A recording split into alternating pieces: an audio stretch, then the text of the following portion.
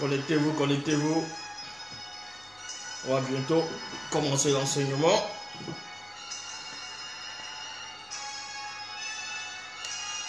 On va commencer l'enseignement. Ça va être profond. Ça va être puissant. Donc, euh, accrochez-vous.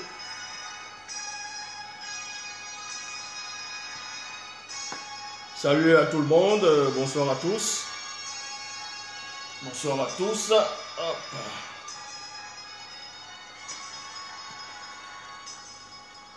Bonsoir à tous, bonsoir à tous. Connectez-vous, connectez-vous. Quand il y a un peu plus de monde, on va commencer le direct. Donc, euh, on va attendre un tout petit peu. On va attendre un tout petit peu.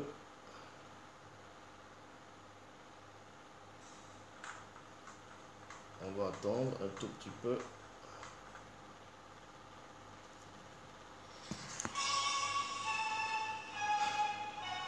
Donc, vous allez partager le direct.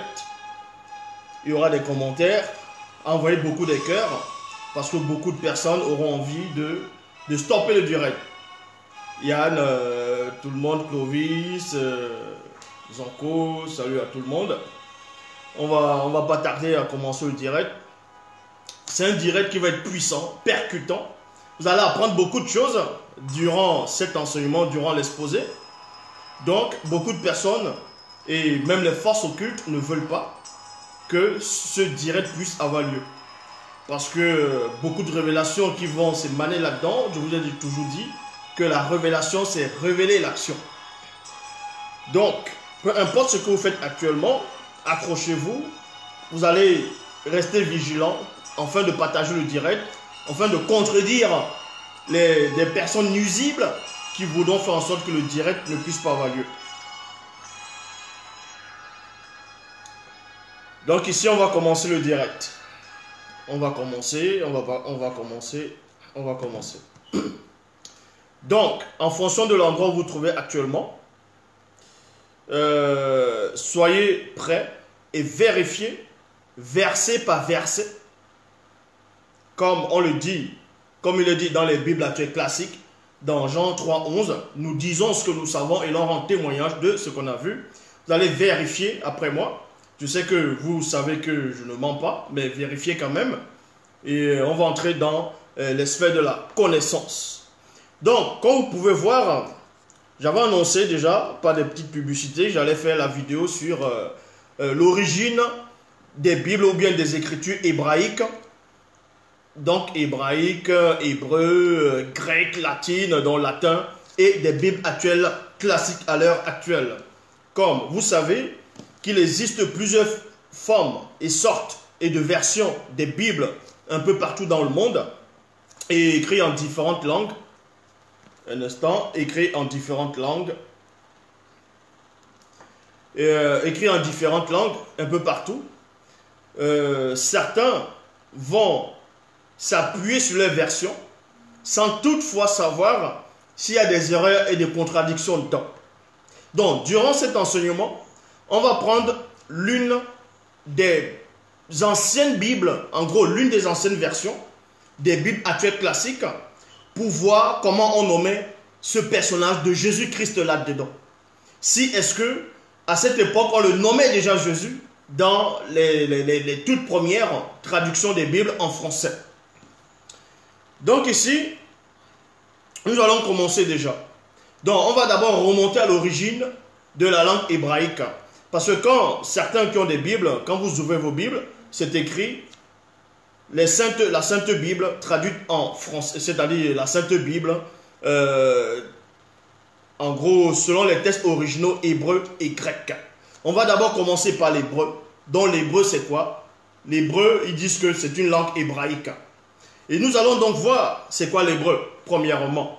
Donc, la Bible hébraïque a été traduite en grec à Alexandrie avant l'ère chrétienne. C'est la Bible de la Septante qui est juive. Donc je répète, la Bible hébraïque, dont les écritures hébraïques ont été traduites en grec, dans le grec ancien, à Alexandrie, avant l'ère chrétienne. Ça s'appelle la Bible de la Septante qui est juive.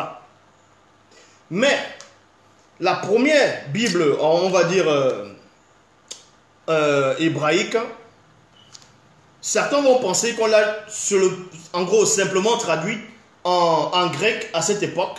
Non, puisque à l'époque hébraïque, c'est-à-dire à, l'époque de la langue hébreu, on va dire comme ça, quoique je vais là démontrer c'est quoi les, les Hébreux, euh, j'ai expliqué la, la, définition du mot hébreu. Donc vous devez comprendre par là que avant de traduire les Bibles en, en grec, il y avait d'autres langues à cette époque qui existaient aussi. Donc on n'a pas que traduit la Bible euh, hébraïque en grec uniquement, puisqu'il y avait d'autres langues à cette époque. Mais on va néanmoins vous retracer l'origine, retracer l'histoire des écritures de cette Bible. Parce que ne soyez pas comme les moutons, comme ceux qui se disent des chrétiens, des, des croyants un peu partout dans le monde avec les faux livres qui n'ont pas de sens. Ils vont voir des contradictions dans les Bibles. Dans les livres, ils vont dire non, euh, les voies du Seigneur sont impénétrables. Et pourtant, on les montre bien qu'il y a des erreurs, il y a des contradictions, il y a des anomalies, il y a des mensonges. Et ils vous disent que la Bible est la parole de Dieu. Mais sans toutefois savoir quelle est l'origine de cette Bible-là? Qui c'est qui a écrit cette Bible-là? Ils vont niamment vous dire que c'est le Saint-Esprit qui a inspiré les apôtres, des prophètes, des saints pour rédiger la Bible, pour écrire la Bible, pour écrire les Écritures. En cela, on vous dit que la Bible est la parole de Dieu. Donc nous allons donc vérifier l'origine de toute chose. Donc je répète, la Bible hébraïque a été traduite en grec à Alexandrie avant l'ère chrétienne. C'est la Bible des Septante qui est juive. Donc vous dit ici, durant le premier millénaire, elle a été traduite en syriaque, en syriaque et en latin. On vous, je répète, euh, durant le premier millénaire, elle a été traduite en syriaque et en latine, c'est-à-dire en latin. Et le latin, par rapport à la traduction latine de la Bible, c'est la Vulgata de Jérôme. Et la langue syriaque, c'est quoi? Vu qu'on parlait la langue syriaque à une époque donnée dans l'histoire, la langue syriaque est une langue sémitique du Proche-Orient appartenant au groupe des langues araméennes. Il y a point ici. Donc, déjà, on va corriger l'hérésie qui veut que les Saintes Écritures ont été traduites avec la langue originelle selon eux, qui est l'hébreu. On va vous montrer par là que au moment où, en gros, avant l'hébreu, avant la langue hébraïque, il y avait d'autres langues qui existaient déjà. Et non seulement, il y avait d'autres langues qui existaient, mais que le soi-disant Jésus de la Bible actuelle classique ne parlait pas l'hébreu. Il ne parlait pas l'hébreu. Et on va vous montrer quelle langue il s'exprimait. Je dis bien, le soi-disant Jésus qu'ils ont inventé dans les Bibles actuelles classiques. Et je sais qu'il y a des, Mongols qui vont sortir des passages où Jésus disait en langue hébraïque, en langue hébreu, qui parlait à Paul sur le chemin de Damas. On va vous démontrer que c'est faux.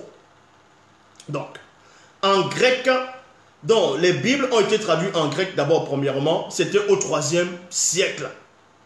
Et ensuite, la Bible latine a été traduite, la Bible du grec, pour transformer en, gros, pour la donner en, Bible latine, c'était vers la fin du 4e siècle. Et en arabe, c'est au 10e siècle. Maintenant, nous allons voir les Bibles à partir du grec c'est-à-dire, on traduit d'abord la Bible hébraïque en grec, et du grec maintenant, on va la traduire en syriaque, en latin et en d'autres langues éthiopiennes, euh, même euh, des langues euh, gothiques. Oui, même des langues gothiques à cette époque. Donc ici, on vous dit les traductions de la Bible grecque en cote dans Égypte des chrétiens vers 150 à 200. C'est le deuxième siècle. Et au deuxième siècle, il y a eu plusieurs traductions, plusieurs Bibles dont ils ont rajouté, ils ont mélangé plein de choses là-dedans. Et en gothique, c'était vers 350, c'est au quatrième siècle. Le gothique, c'est quoi? Le gothique n'est pas forcément le gothique n'est pas forcément euh, les gens qui s'habillent en noir avec les vernis noirs, le rouge à lèvres noir, quand les têtes de mort, ainsi de suite. Parce que à l'heure actuelle, quand on dit gothique, on pense à ces gens, à certains, on va dire, d'autres disent que ce sont les adorateurs de Satan. Ils s'habillent en noir, les vernis noirs, euh, ainsi de suite. Non, c'est pas ça. Eux, ils, ont, ils se sont donné le nom gothique. Mais le gothique, c'était une langue. Maintenant, c'est une langue morte, selon l'histoire. Puisque le gothique est une langue morte qui était parlée par les Goths au Moyen Âge. On a aussi servi de ça pour traduire la Bible, c'est-à-dire les, versions grecques. Elle appartient à la branche germanique de la famille des langues indo-européennes. Et maintenant, les Bibles, il y a aussi eu des Bibles éthiopiennes qui sont arrivées bien plus tard. Bon, à cette époque aussi, il y a eu des Bibles éthiopiennes vers le vers 500, donc vers 500 qui veut dire euh, le 5e siècle.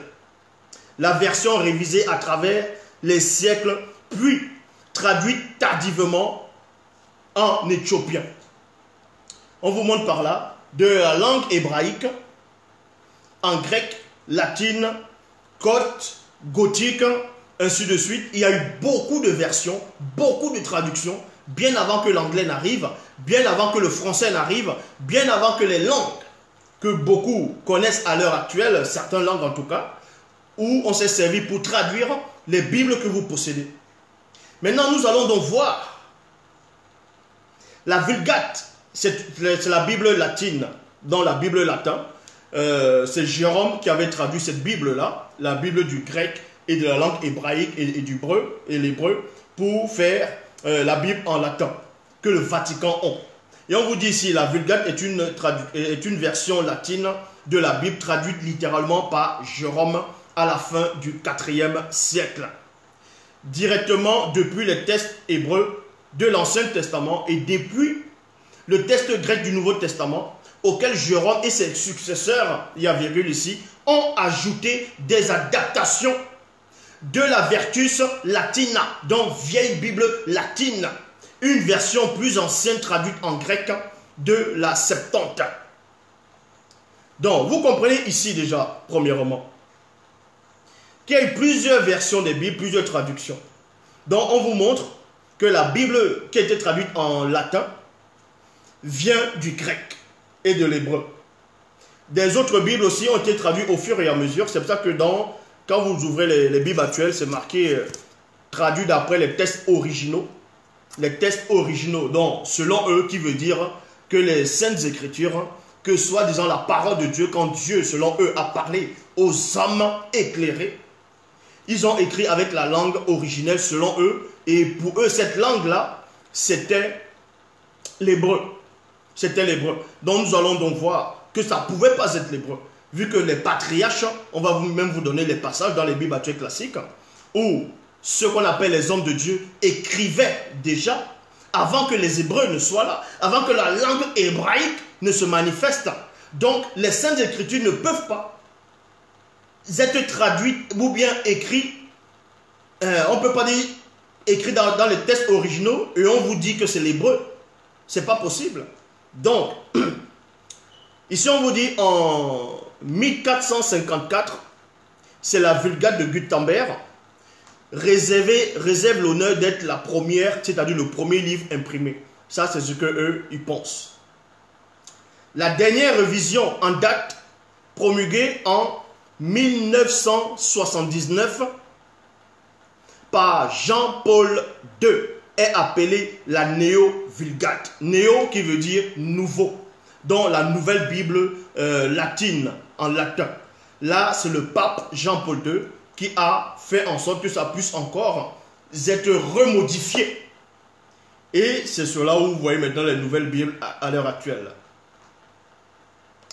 Donc, premièrement, le Christ de la Bible parlait quelle langue? Le Christ de la Bible s'exprimait en quelle langue? Parce que les gens pensent que quand ils lisent une Bible en français, ils vont dire, ah oui, le Jésus de, euh, en gros, que le Jésus de la Bible, dans, s'ils ont lu seconde 1910, ils vont lire dans 8 seconde 1910 en français, ils vont forcément imaginer dans leur tête que ce Jésus-là parlait le français.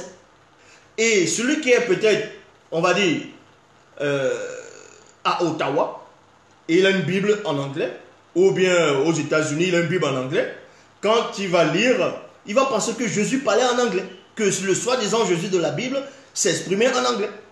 Et maintenant, celui qui a la Bible traduite en lingala, quand il va lire les écrits de ce soi-disant Jésus qu'on a inventé, qui s'exprimait en lingala, ils vont se dire que ah, forcément Jésus parlait en lingala. Non, ce sont des traductions, on a juste traduit d'après, euh, selon eux, les textes originaux hébreux. Donc, ce n'est pas possible. On va vous montrer des indices ici. Donc, vérifiez après moi. Vérifiez. Dans le livre de Marc, je répète, le livre de Marc, chapitre 5, au verset 41, il est dit que le Christ, il lui saisit la main en disant, Talita, kum, Talita kum, qui signifie jeune fille, je te dis, réveille-toi. Ça, c'est en langue araméenne et non l'hébreu. Ça, ce n'est pas de l'hébreu, c'est la langue araméenne. C'est en araméen. Est-ce que vous comprenez? Je répète dans Marc, chapitre 5, au verset 41. On veut dire que le Christ dit là-dedans. Talita kum, ce qui signifie jeune fille, je te dis, réveille-toi. En hébreu, ça veut rien dire. C'est en langue araméenne qui veut dire, euh, en gros, ce que je viens de lire, jeune, euh, petite fille, lève-toi. Ça, c'est en langue araméenne. Donc, si vous comprenez mieux le soi-disant Jésus de la Bible, la manière, quand ils ont traduit les Bibles, quand ils ont rajouté le personnage de Jésus dans les Bibles actuelles classiques, ce Christ-là s'exprimait en langue araméenne et non en hébreu, et non en grec, et non en français, et non dans la langue latine ou, en latin, et non en corte, et non en gothique. C'était la langue araméenne. Et on va vous démontrer que la langue araméenne est plus ancienne que la langue hébraïque. Est-ce que vous comprenez? Donc, si la langue araméenne est plus ancienne que la langue hébraïque, comment se fait-il qu'on vous dise que les écritures, les saintes écritures traduites d'après les textes originaux hébreux, alors qu'avant l'hébreu, il y avait déjà une langue plus ancienne que l'hébraïque? Et ils vont vous dire que Abraham c'était un hébreu. Non, selon la Bible actuelle classique, Abraham c'est un araméen. Abraham c'est un araméen dans de la Mésopotamie. De la Mésopotamie. Et c'était des noirs. Ici, là, on va vous le remontrer. Donc, dans Marc, dans Actes des Apôtres, chapitre 26, au verset 14, Bible de la liturgie. Donc, c'est à une époque, dans les Bibles actuelles classiques, que on vous dit, Paul, dans celui qu'on appelait Saul, était sur le chemin de Damas pour aller persécuter. Il venait de recevoir les pleins pouvoirs pour aller attraper ceux qui parlaient sous le nom de ce Jésus-là, ainsi de suite. Donc, sur le chemin de Damas, ce soi-disant Paul a fait une rencontre. Il est tombé, il a expliqué ce qui s'est passé. Et on vous dit que quand il est tombé, il a entendu la voix du Seigneur le Seigneur a commencé à s'exprimer. Le Seigneur, selon eux, a commencé à lui parler en une langue. Et vous allez voir la supercherie. Vous allez voir comment les faux juifs, comment les occidentaux, comment euh, les biblistes ont encore retrafiqué l'histoire trafiquée. Est-ce que vous comprenez? Donc ici, dans Actes des Apôtres, chapitre 26 au verset 14, dans la Bible de la liturgie, il est dit ceci, tous, virgule, nous sommes tombés à terre. Et j'ai entendu une voix qui me disait en araméen, en araméen, en araméen. Et c'est de l'araméen que le Christ, soi-disant, parlait dans Actes, dans, dans Marc 5, 41. Je répète dans Actes des Apôtres, chapitre 26, au verset 14, Bible de la liturgie, il dit, vérifiez, allez vérifier, allez sur Internet et vérifiez dans Actes des Apôtres, chapitre 26, au verset 14. Donc, premièrement, le premier exposé que je vais donner ici, c'est pour vous démontrer que les Bibles actuelles classiques n'ont pas, été écrites en, en hébreu, mais en araméen. En araméen. Et vous allez comprendre pourquoi ils ont supprimé l'araméen pour le transformer en hébreu en faisant croire que Abraham c'était un hébreu. Abraham n'était pas un hébreu. Isaac n'était pas des Hébreux, c'était des Araméens. Et c'était des Noirs. On va vous le démontrer. Donc, pour vous montrer que toutes vos versions des Bibles actuelles classiques, même la, la Satante, ainsi de suite, elles sont toutes fausses. Dans Actes des Apôtres, chapitre 26, au verset 14, Bible de la liturgie, il dit Tous nous sommes tombés à terre et j'ai entendu une voix qui me disait en araméen, en araméen, Sol, Sol, pourquoi me persécutes-tu? Il est dur pour toi de résister à l'aiguillon. Bible du semeur, dans le même passage, il est dit en araméen. Bible en français courant, il est dit en araméen. Maintenant, ils ont compris, mais pendant que ils ont vu cela, ils ont dit non, ça ne les arrange pas, parce qu'il faut qu'ils modifient l'histoire jusqu'à la branche. C'est pour ça que dans d'autres versions, à la place d'araméen, ce qui va sortir, ça va être en langue hébraïque, en langue juive. Ils vont dire le juif. Ils vont dire le juif. Ou bien en langue hébreu, en hébreu ou bien en araméen. Euh, non, pas en araméen, en, en hébraïque. Non. Selon la Bible actuelle classique, le Jésus là n'a pas parlé l'hébreu. Il a parlé l'araméen. Maintenant, on va vous démontrer que Abraham, c'était un araméen. Abraham n'était pas l'hébreu. Abraham n'était pas l'hébreu. Donc, dans Deutéronome, chapitre 26, au verset 5. Deutéronome, chapitre 26, au verset 5, il est dit, Tu prononceras ces paroles devant le Seigneur ton Dieu. Deux points. Mon père, mon père était un araméen, nomade. Vous pensez qu'on parlait de qui ici? On va vous démontrer qu'il était question d'Abraham ici. Donc je répète, dans Deutéronome, chapitre 26 au verset 5. Vous pouvez lire Deutéronome à partir du verset 1. Vous allez voir qu'on s'adressait au peuple soi-disant de Dieu. Donc, tu prononceras ces paroles devant le Seigneur ton Dieu. Mon père était un araméen. Mon père était un araméen nomade qui descendit en Égypte il y vécut en immigré avec un petit clan. Il y a point. C'est là qu'il est devenu une grande nation, puissante et nombreuse. Bible parole de vie, il est dit, alors, devant le Seigneur, votre Dieu, celui qui présente les produits prononcera cette déclaration. Mon ancêtre était un araméen et non un hébreu et non un hébreu. Mon ancêtre était un araméen qui allait d'un endroit à l'autre. Il est parti en Égypte, mais quand vous lisez dans les Bibles classiques, Abraham est bien parti en Égypte. Un moment, selon les Bibles actuelles, il allait en Égypte avec Sarah. Et de là-bas, il est sorti de là-bas, il était sorti riche. Et oui, c'est de lui dont fait allusion ici. Mon ancêtre était araméen qui allait d'un endroit à l'autre. Il est parti en Égypte il a vécu dans ce pays avec un petit groupe de gens qui étaient avec lui. Ensuite, ils sont devenus un grand peuple puissant et nombreux.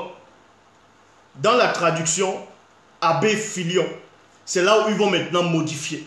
Écoutez attentivement, dans la traduction Abbé Filion, ils ont vu cela, ils ont dit non, ça ne les arrange pas. Et là, ils vont modifier maintenant. Ils vont faire croire que Abraham n'était pas araméen, qu'on ne s'adressait même pas à Abraham, qu'on s'adressait à une autre personne. Dans la traduction, Abbé Fillon le dit, et vous direz à la présence de votre Seigneur, le Syrien, le Syrien, le Syrien poursuivait mon père. Vous voyez? Qui descendit en Égypte. Voyez? Donc maintenant, on va retracer l'origine d'un hébreu et d'un araméen. On va vous montrer l'origine de celui qui est araméen qui parle l'araméen, et celui qui est, on va dire, selon les Bibles classiques, hébreu, et qui parle l'hébreu dans l'hébraïque. Et vous allez voir que c'est celui qui est euh, araméen est né bien longtemps avant le tout premier hébreu. Je répète, le premier homme qui représentait, qui était araméen, est plus ancien est venu à l'existence bien longtemps avant le premier hébreu. Et avant que le premier hébreu n'arrive, et avant même que le premier araméen ne soit né, Noé existait déjà, avait déjà vécu bien longtemps. Avant Noé, il y avait déjà beaucoup de gens qui avaient déjà écrit des histoires surnaturelles. Ils ont écrit ça en quelle langue? Vu qu'il n'y avait pas encore l'hébreu à cette époque. Il n'y avait pas le grec, il n'y avait pas la langue, euh, le latin, il n'y avait pas les langues actuelles que vous connaissez, certains en tout cas. Il n'y avait pas l'araméen. Maintenant, viens revérifier. Dans Genèse, chapitre 12, au verset 1. Dans Genèse 12, 1, il est dit, Bible du semeur, l'Éternel dit à Abraham, l'Éternel dit à Abraham, va, virgule, quitte ton pays. On vous dit ici là que Yahvé Adonai Elohim Jéhovah l'Éternel s'est adressé à Abraham, donc qui va se transformer en Abraham? Il lui demande de quitter son pays. Le pays d'Abraham, c'était où? Le pays d'Abraham, c'était où? C'était où Selon la Bible actuelle classique? Le pays d'Abraham se trouvait où? Dans ce pays-là, on parlait quelle langue? On ne parlait pas l'hébreu. Donc vous dit ici, dans Genèse 12, verset 1, Bible du semeur, l'Éternel dit à Abraham, va, quitte ton pays, ta famille et la maison de ton père pour te rendre dans le pays que je t'indiquerai. Maintenant, comment on va localiser le pays d'Abraham selon la Bible? Comment on, sait que Abraham est araméen, dans, il est sorti de tel pays? On voit cela dans Genèse chapitre 24 au verset euh, Genèse 24 au verset 4. Quand Abraham a envoyé son homme de main pour aller chercher une femme à Isaac dans la maison où il est né. C'est-à-dire dans son pays d'origine, dans sa patrie, selon les Bibles classiques. Dans Genèse 24, verset 4, il est dit, Jure-moi que tu iras dans mon pays d'origine. Voilà Abraham qui parle. Jure-moi que tu iras dans mon pays d'origine et que tu choisiras dans ma parenté. Ma parenté, c'est ma famille. Une femme pour mon fils Isaac. Et cette femme, c'est qui? C'est Rebecca. Rebecca, elle n'est pas hébreu. Rebecca, c'est une araméenne. Et on voit cela dans Genèse chapitre 25 au verset 20. Il est dit ici, Isaac était âgé de 40 ans quand il prit pour femme, quand il prit pour femme Rebecca, virgule, qui était la fille de Bethuel, l'araméen, l'araméen et non l'hébreu. L'araméen. Abraham, c'était l'araméen. Abraham était araméen. Il n'était pas hébreu. Donc, on a pris l'histoire d'un personnage euh, araméen dans la Mésopotamie. Parce que dans la Mésopotamie antique, c'était des Noirs. Là-bas, ils parlaient une langue et que eux, ils vont baptiser, ils vont dire que c'est l'araméen. On va vous expliquer ces choses-là. Donc, la langue araméenne est plus ancienne que la langue hébraïque. Et Abraham était araméen. Il n'était pas hébreu. Donc, les, les soi-disant saintes Bibles ne peuvent pas être écrites en langue hébreu. Ne peuvent pas être écrites en langue hébraïque. C'est pas possible. Ça, c'est un mensonge. Donc, ici, dans Genèse 25, au verset 20, il est dit Isaac était âgé de 40 ans quand il prit pour femme Rebecca. Il était la fille de Bethuel. Benuel, d'autres vont dire Benuel. L'araméen de Panda Aram. La sœur de Laban, l'araméen. Il y a point. On vous dit c'est la famille de qui? C'est la famille d'Abraham. C'est là-bas qu'il est né. C'est là-bas qu'il est. D'où les tissus. Il est sorti là-bas avec qui? Il est sorti de là-bas avec Sarah. C'est avec Sarah, dans ce pays-là. Et c'était à Ur, en Mésopotamie. Parce que Abraham, c'était un Mésopotamien, selon les Bibles actuelles classiques. Et la Mésopotamie, il y a des cartes, je l'ai démontré, c'était dans l'Afrique noire. Donc arrêtez un peu de divaguer que les Palestines, là, les, les Saintes Écritures, vous voyez, les, les Noirs sont là dans les églises, ils vont dire Jésus. Jésus, c'est qui? Jésus ne veut rien dire. Le nom Jésus n'existe pas. Ça ne veut rien dire. On va vous le démontrer que même quand on traduit, euh, quand on traduit de, la langue euh, hébraïque, qui est Yoshua, Joshua, Yoshua, en grec et en latin, en traduisant même Joshua, Joshua, de latin en français, ça ne donne même pas Jésus. Donc le nom de Jésus n'existe. C'est une invention, c'est une invention ce nom-là. Ça ne même, ça veut rien dire. Donc, on va vous donner l'origine du premier hébreu, selon les Bibles, et l'origine du premier araméen. Et vous prenez les versets, vous vérifiez vous-même. Dans Genèse chapitre 10, au verset 21. Dans Genèse 10, 21, c'est un résumé de ce qui va arriver plus tard, de ce qui est arrivé avant. Mais après Genèse 10, 21, on va vous donner maintenant l'ordre établi. On vous dit Sem, donc Sémite, ils vont dire Sémite. Sem, Sem c'est qui? Sem c'était le fils de Noé. Aussi, le frère aîné de Japheth eut une descendance, point. Il fut l'ancêtre d'Héber. D'Héber. Héber c'est qui? Héber c'est hébreu.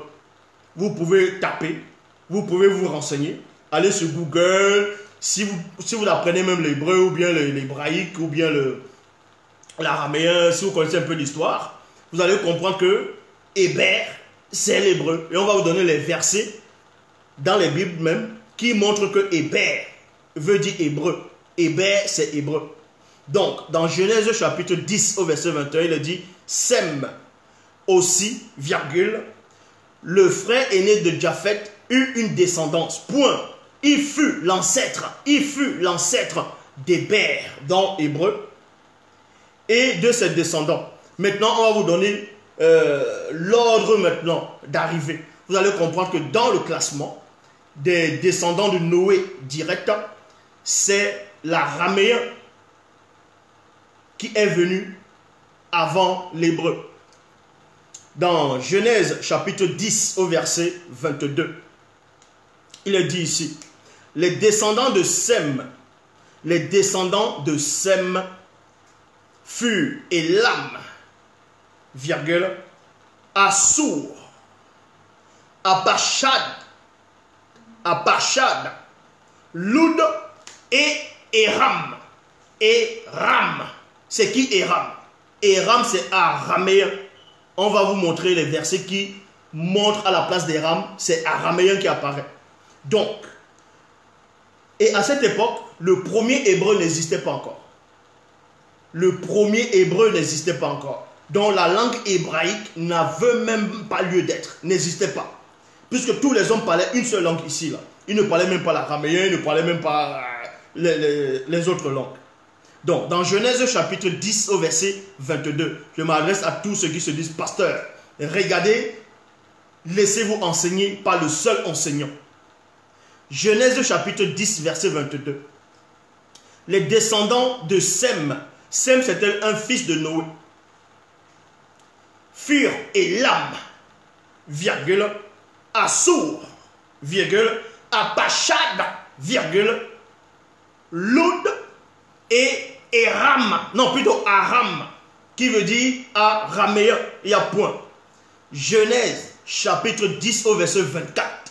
Maintenant, c'est un fils, c'est le fils maintenant, c'est un, c'est le fils de, de Sem, dont le petit-fils de Noé, lui qui va avoir un enfant, qui va, qui va avoir le, qui va avoir un enfant qu'on va, qu'on va nommer Hébreu, dans Héber. Donc, Héber, c'est qui? Hébreu, c'est qui? Le premier hébreu est le neveu de l'araméen.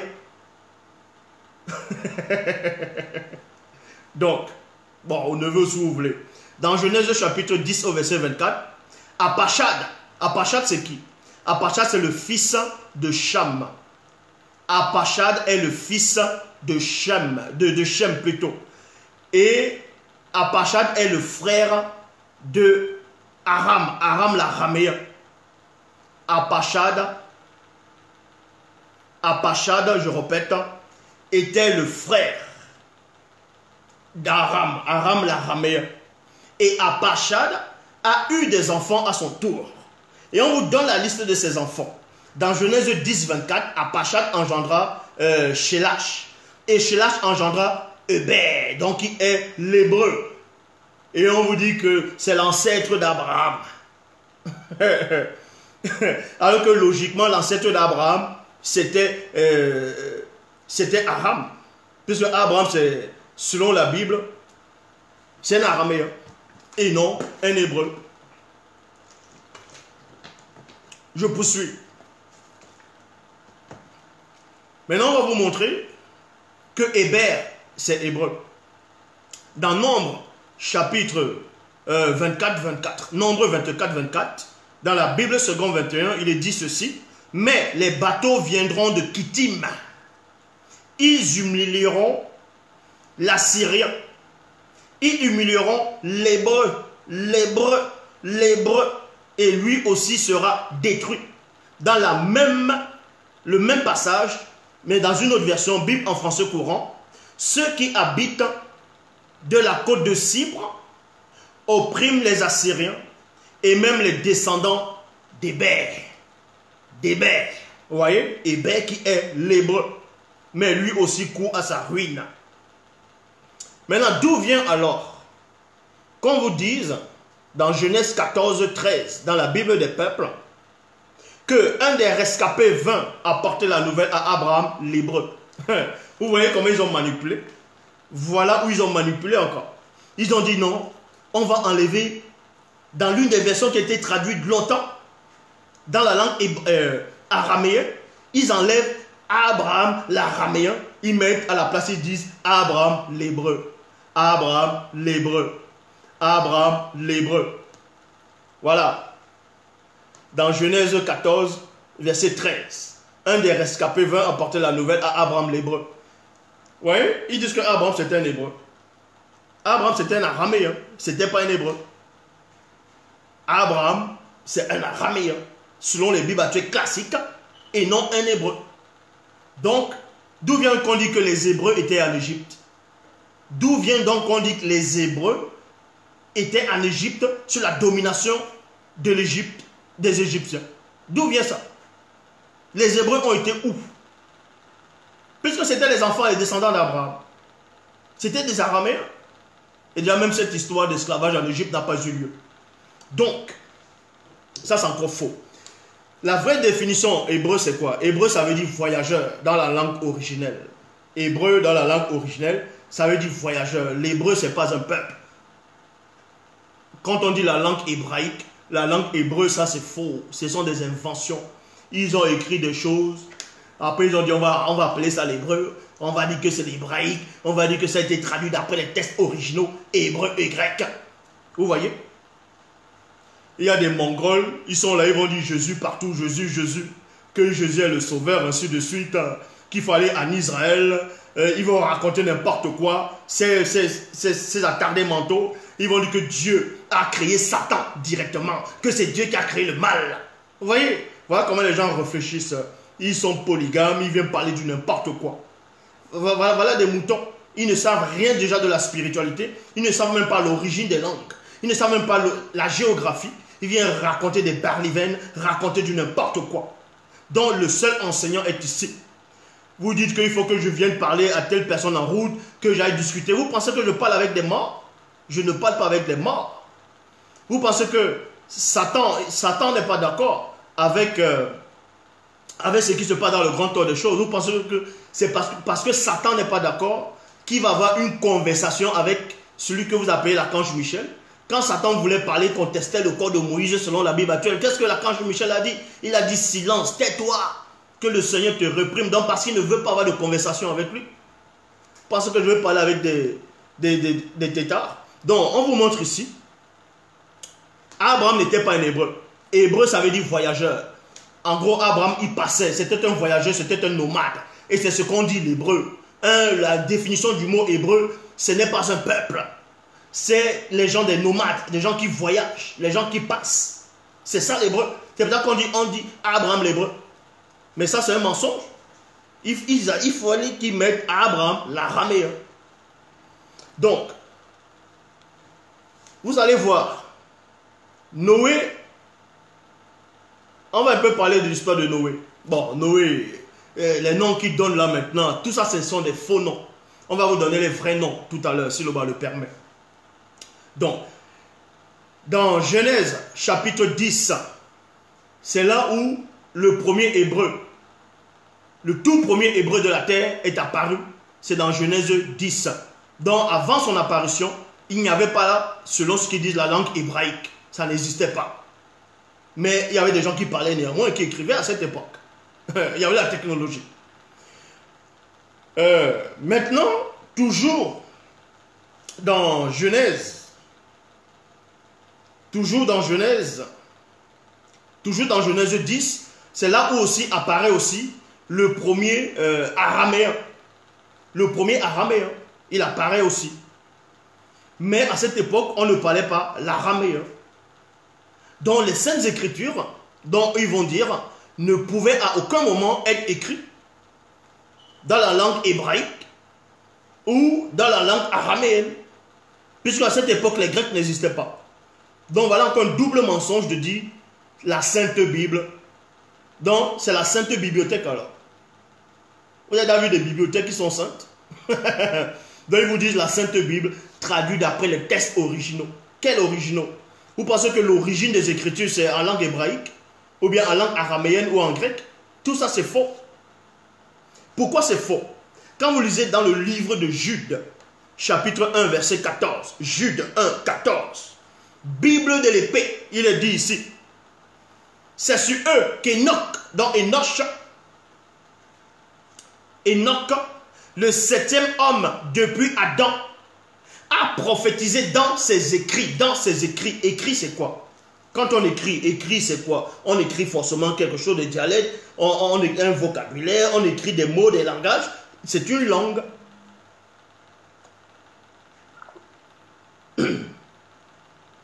C'est une langue. Donc, vous comprenez par là, dans Jude chapitre 1 verset 14, que Enoch a prophétisé dans ses écrits. Enoch a, bien, bel et bien écrit. Enoch a bel et bien écrit. Enoch a écrit en quelle langue? Vu que les Hébreux n'existaient pas encore. Eh oui. Donc on ne pouvait pas parler de, euh, on pouvait pas parler l'hébreu puisque les Hébreux n'existaient pas. Donc la langue hébraïque n'était pas encore. La langue araméenne n'était pas encore née. La langue grecque n'était pas encore née. Les langues, le français, le latin n'étaient pas encore nés. Tout ça n'était pas encore né. Mais il y avait néanmoins un ancêtre dans l'Afrique ancestrale, noir, qui avait déjà écrit. Et vous l'appelez Enoch, mais son vrai nom c'est Doubissé. Ou dans la langue on peut dire Doumse, donc qui veut dire initié, baptisé. C'est le vrai nom de celui que vous appelez Enoch. C'est Doubissé. Donc quelqu'un qu'on baptise, un initié. Lui, il a écrit en quelle langue? Enoch a écrit en quelle langue? La langue hébraïque n'existait pas. Donc quand ils viennent dire, ils vont traduire des ils vont traduire les, écritures, ils vont modifier, ils vont dire non, vous savez, euh, euh, on va mentir à l'humanité, on va dire que c'est traduit d'après, que, que c'est l'hébreu, que Abraham c'était un hébreu, que même Adam c'est un hébreu, que même Jésus est parti au ciel, il parlait l'hébreu. Alors que Paul il dit les langues des hommes vont disparaître. Mais le soi-disant Jésus monte au ciel, il se met encore parler à la langue hébraïque. N'importe quoi. Voilà ce que les, gens qui se disent pasteurs, euh, ils sont là, ils disent qu'ils bénissent Dieu. Alors que dans Hébreu 7.7, il est dit, c'est le supérieur qui bénit l'inférieur. Voilà. Voilà des tétards. Des gens qui se disent hommes de Dieu. Vous les voyez parler dans les églises pendant la période qu'on appelle le Covid-19, le coronavirus ils ont peur de toucher soi-disant les fidèles. Quand un soi-disant fidèle a la maladie, on va dire qu'il a le coronavirus, ils ont peur de les toucher, ils ont dit, ah non, il faut un mètre de distance. Non, il faut mettre des masques. Parce que, ah non, c'est contaminé. Il ne faut pas que le pasteur soit contaminé. Il ne faut pas que les fidèles soient contaminés. Mais, mais vous les voyez, ils vont faire euh, euh, du n'importe quoi. Ils vont dire qu'ils chassent des démons. Vous voyez? Il dit qu'il chasse des démons. Il touche quand même les gens qui disent, soi-disant, ils ont les démons dans les corps. Et le démon ne les contamine pas. Dans le coronavirus, que les gens ont inventé des laboratoires, sont plus puissants que les démons que les pasteurs chassent alors dans les églises. Donc vous voyez que cette épidémie, cette pandémie est arrivée pour vous montrer qui est qui. Donc tout ça, c'est du n'importe quoi. Arrêtez de distraire les gens. Je dis encore, Dieu, vous pouvez le nommer comme vous voulez. Dieu ne vous connaît pas. Dieu non, il n'y a aucun pasteur sur la terre qui existe. Aucun prophète. Le seul, c'est celui qui est en face de vous. Est-ce que vous comprenez? Donc, on répète ici. Enoch a écrit un livre. Enoch a prophétisé. Il a écrit. Enoch a prophétisé. Il a bel et bien écrit. Mais il a écrit quoi? C'était dans quelle langue qu'Enoch a écrit? Pourquoi ils ont enlevé les, pourquoi ils ont enlevé le livre d'Enoch dans le canon, dans les Écritures? Ils ont considéré que c'est un livre apocryphe. Parce que dans... Euh, parce qu'il y a plusieurs versions des livres d'Enoch où il y a aussi des mensonges dedans. Mais l'une des anciennes versions, que eux-mêmes ils n'arrivent même pas à traduire, on vous montre par là que quand on vous montre que Enoch était noir, Enoch était noir. Mais là, ils ont retiré cela, ils ont dit ah non, c'est pas bon. Maintenant, on va un peu parler de l'une des anciennes versions des Bibles qui existent à l'heure actuelle. Je répète, l'une des anciennes versions des Bibles qui existent à l'heure actuelle, c'est la Bible de Pierre Robert Oliverton la Bible de Pierre Robert Oliverton qui date de 1535, qui vissait au 16e siècle. Et on va vous expliquer comment on prononçait le nom de soi-disant Jésus au 16e siècle. Vous allez voir que le mot Jésus n'apparaît même pas dedans en français. Donc, je répète, la plus ancienne Bible à l'heure actuelle, l'une des anciennes Bibles à l'heure actuelle, des Bibles classiques actuelles uniquement, est la version de Pierre Robert Oliverton en français. Elle date du 16e siècle. C'est en 1535. On vous dit, je vais vous donner un peu la biographie de ce personnage-là. Oliverton est le premier, bon, né à Néon vers 1506. Pierre Robert dit Oliverton est le cousin de Jean Calvin. Jean Calvin, c'est aussi quelqu'un qui avait aussi écrit, qui avait aussi euh, traduit aussi une version, mais bien plus tard. Donc, Pierre-Robert Olivertan est le cousin de Jean Calvin. Il fait ses études à Orléans, puis étudie l'hébreu, l'hébreu, l'hébreu à Strasbourg. Et il se consacre à l'enseignement. Il se consacre à l'enseignement. Oliverton est le premier traducteur. Écoutez attentivement. Oliverton est le premier traducteur de la Bible en français à partir des textes originaux hébreux et en grec. Point. Et en grec. Sa Bible préfacée par le réformateur Calvin est imprimée à Neuchâtel en 1535. Maintenant, nous allons donc prendre cette version de Pierre Robert Oliverton, qui est la plus ancienne, l'une des plus anciennes à l'heure actuelle en français. On va prendre quelques passages là-dedans pour lire, pour voir s'il y a des erreurs, des contradictions. Et vous verrez que il y a toujours des erreurs, des contradictions, exactement comme toutes les autres Bibles actuelles classiques qui sont apparues après cette version-là.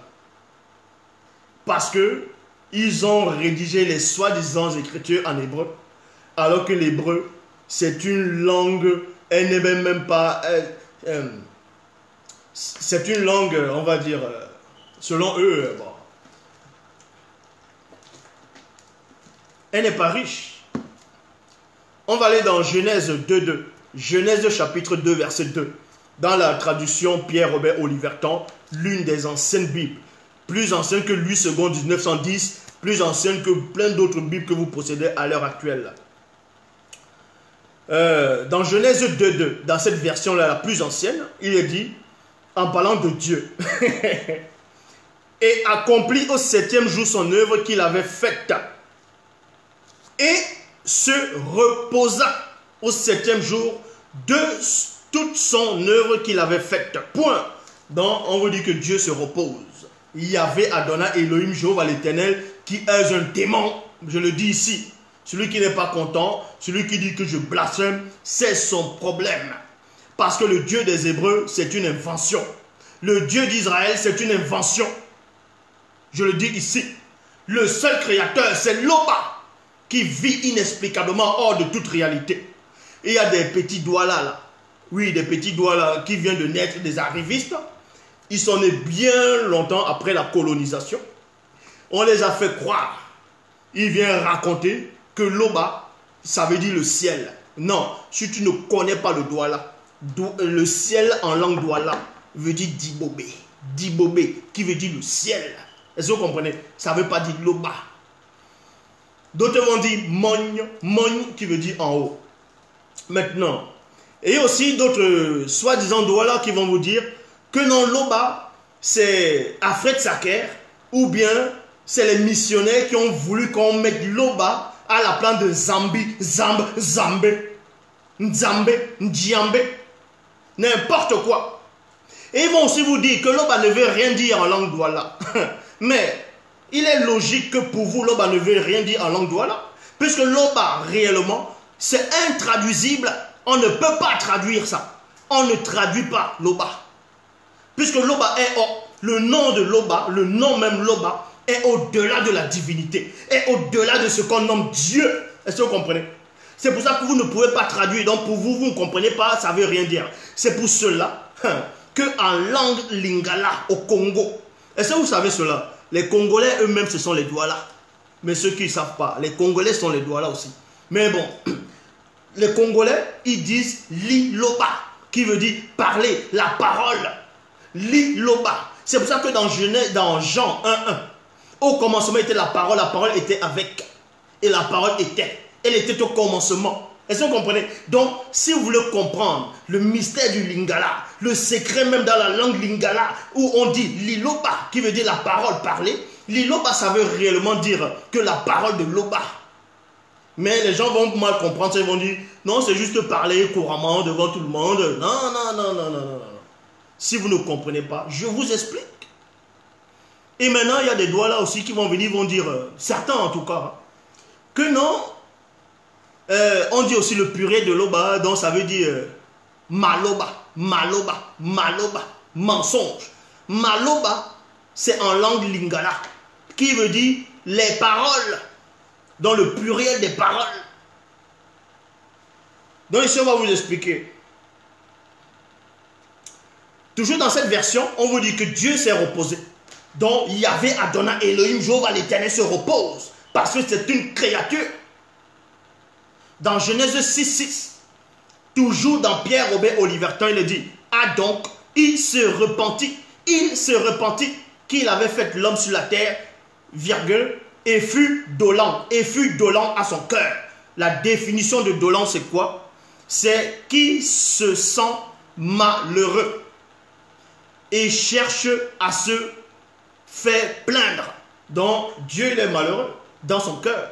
Oh là là, il, faut le consoler. ah oui, ah, c'est normal en fait. Ah mais Zulula, Zulula, Zulula dans la révélation. Vous savez, euh, dans l'une des versions des livres d'Enoch mal traduite, on vous dit que le Dieu d'Israël, dont Yahvé Elohim, il se reposait, il dormait. Il était sur son lit, il était sur son lit. Et il y avait les chérubins, les séraphins, euh, les archanges, non, les chérubins, les séraphins, les ophanimes et les phénix. Ils étaient en train de lui chanter une berceuse pour que Dieu d'Israël se réveille. pour qu'il se réveille. Vous voyez? On lui chante une berceuse pour qu'il se réveille. Voilà ce Dieu. Voilà le Dieu. C'est pour ça qu'en Afrique, vous n'avancez pas. Je répète ici, en Afrique, vous n'avancez pas. Parce que vous avez accepté du n'importe quoi. Vous avez accepté des inventions. Il y a plein de faux pasteurs qui ne font que sortir là-bas. Ils disent non, Dieu m'a envoyé, Dieu m'a dit. Les églises ne font que sortir. C'est là-bas en Afrique ancestrale, noire à ce moment. Toutes ces églises-là, si c'est tous la manière dont ils sont à fond dans ces soi-disant églises, si c'était les hommes qui étaient à fond dans la médecine, si c'était les ingénieurs, si c'était des investisseurs, mais l'Afrique serait déjà le numéro un à l'heure actuelle. On n'a pas, vous n'avez pas besoin des églises en Afrique. Vous n'avez pas besoin de la religion. Vous n'avez pas besoin des fausses églises. Vous n'avez pas besoin de Jésus. Tout cela, c'est pour vous détruire. C'est pour vous enlever. C'est pour vous extirper de la source. Et on a tellement conditionné l'homme noir que s'il essaie de réfléchir, il va dire attention, Jésus me voit. Que si tu dis que Jésus n'est pas le Fils de Dieu, tu vas aller en enfer. Voilà ce qu'on vous a dit. On vous a menti. On vous, on vous dit que soi-disant Jésus dit, si on te gifle sur une joue, tant l'autre joue, bah, tu dis chef, voici gifle encore. Quand on prend vos biens, on vous massacre en roule, vous ne réagissez pas, vous avez peur de vous défendre parce que vous dites que si vous vous défendez, vous allez aller en enfer. Vous avez peur du spirituel que eux ils ont inventé, n'importe quoi. Donc voilà des, des tétards, ils sont là, ils vont prêcher, ils mettent des costards le dimanche, il dit, ha ha ha, Dieu m'a dit, le Saint-Esprit de Dieu. Et là, vous dénigrez vos propres langues. Vous dénigrez où vous êtes né. Vous venez raconter du mensonge aux gens. Vous dites que vous êtes des adorateurs. Vous attendez quel enlèvement? Jésus ne viendra pas parce qu'il n'existe pas. Arrêtez d'attendre quelque chose qui n'existe pas. Je le dis ici. Ora, celui qui n'est pas content, qui me prouve le contraire. Personne ne peut me prouver le contraire. Je dis bien personne. Je suis le seul. Je le dis ici en direct. Il y a plein de gens qui sont connectés. Je suis la source de la connaissance. Donc ici, dans Genèse 6, 6, Dieu s'est repenti.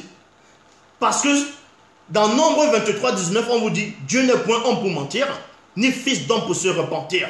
Comment se fait-il que dans Genèse 6, 6, il se repent? Et dans Nombre 23, 19, on vous dit qu'il ne se repent pas. Parce que ce n'est pas la même personne qui a rédigé toute la Bible. Parce que s'il rédigeait les Bibles en même temps, s'ils avaient le même esprit, il n'y aurait pas des erreurs, il n'y aurait pas des contradictions. Donc, dans Genèse 11, verset 5, dans Genèse 11, verset 5, il est dit, Ah le Seigneur descendit pour voir la cité et la tour qu'avaient édifié les fils des hommes les fils des hommes. Donc, vous comprenez par là que Dieu de la Bible, Yahvé, est obligé de descendre pour voir ce que ses propres, soi-disant ses propres créatures sont en train de bâtir. Dans, dans, dans, la tour ou bien dans le ciel où il est assis là-bas, parce qu'il est contenu, il ne peut pas voir de loin. Dans le Superman qu'on a inventé euh, à Hollywood, ou bien les, petits gamins qui ont inventé Superman en premier, là, lui, il arrive à voir plus que Dieu. Donc, on vous dit que Dieu est descendu. Dieu est descendu pour voir ce que les fils des hommes bâtissaient. Que les fils des hommes bâtissaient.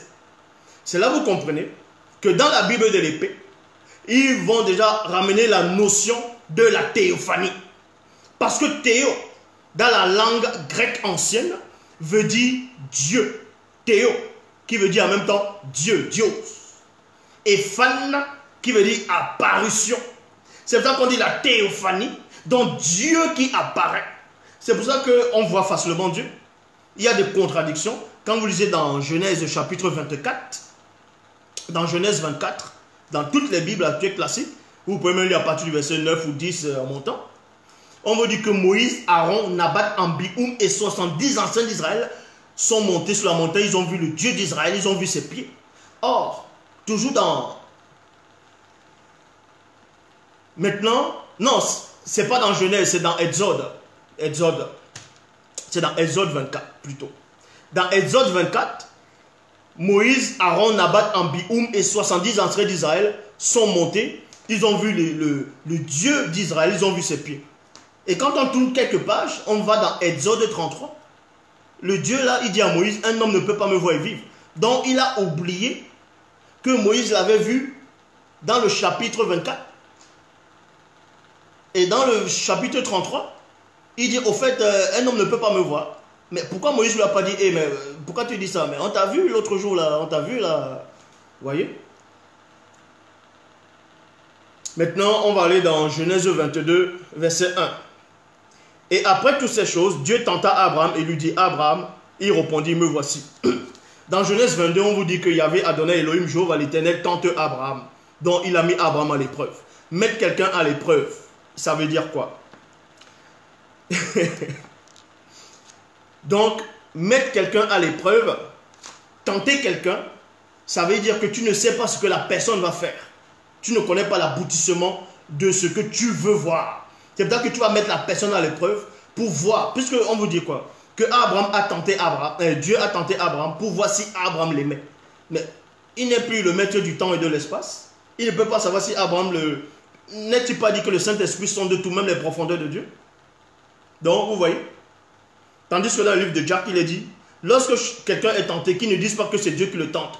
Car lorsque quelqu'un est tenté ou mis à l'épreuve, ce n'est pas sa propre convoitise. Dieu lui-même ne tente personne. Voilà ce qu'il est dit. Dans Genèse 22, verset 12, il est dit ici. Et il lui dit, tu ne mettras point la main sur l'enfant et ne lui feras aucune chose. Car maintenant, j'ai reconnu que tu crains Dieu et que tu n'as point épargné ton fils unique pour l'amour de moi. Hum. Donc vous voyez, Dieu dit là, il dit à Abraham, ah maintenant j'ai connu. Donc Dieu ne connaissait pas avant. Il dit maintenant, parce que quand on dit maintenant, ça dit qu'il y avait avant. Vous allez me dire que je tords aussi le, je, tords le français, je tords le, les, les, phrases. Je ne tords pas les phrases. Donc Jésus ne vous servira à rien.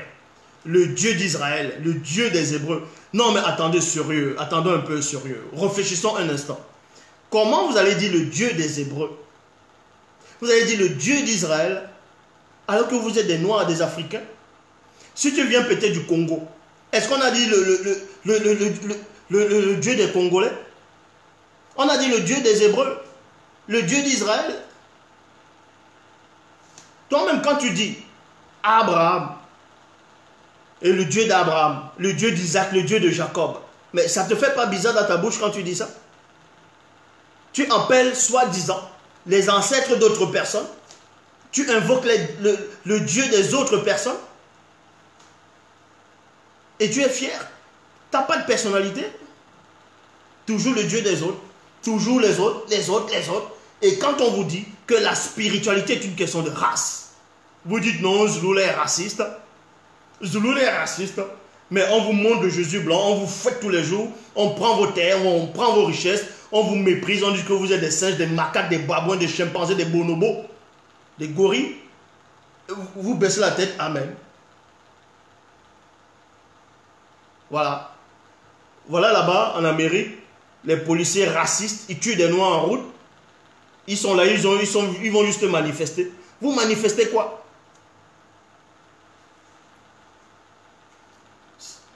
Vous ne réfléchissez pas. Vous prenez toujours les autres, les autres, les autres. Le Dieu d'Abraham, le Dieu d'Isaac, le Dieu de Jacob. Pourquoi pas le Dieu de Mamadou? Pourquoi pas le Dieu d'Atangana? Pourquoi pas le dieu de Kanga? Non, parce que si vous dites le dieu de Kanga, le dieu de Mamadou, le dieu de, je ne sais pas, de, de, Méni, pour vous, ça ne va pas bien sonner. Il faut que vous dites, vous disiez le dieu d'Abraham. N'importe quoi. C'est Sango. Son vrai nom, c'est Sango. Celui qui n'est pas content, j'ai même pas besoin que vous priez pour moi. Donc arrêtez de m'écrire, de dire que oh, Jésus t'aime, euh, tu, te repens. Je me repens dans quoi? Je me repens dans quoi? Je me repens dans quoi? Je me repens dans quoi? Donc, dans euh, la Bible de Pierre-Robert Oliverton, vous savez que sa Bible date du 16e siècle.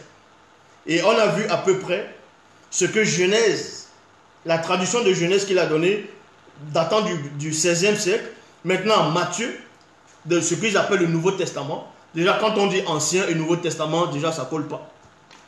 Un testament, c'est quoi? Donc, quand on dit Ancien Testament, du Nouveau, ça dit qu'on a changé d'avis. Eh oui.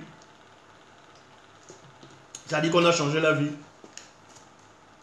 Toutes les religions qui sont entrées en Afrique sont des religions que Satan a envoyées là-bas. C'est tout. Maintenant, comment disait Jésus au 16e siècle?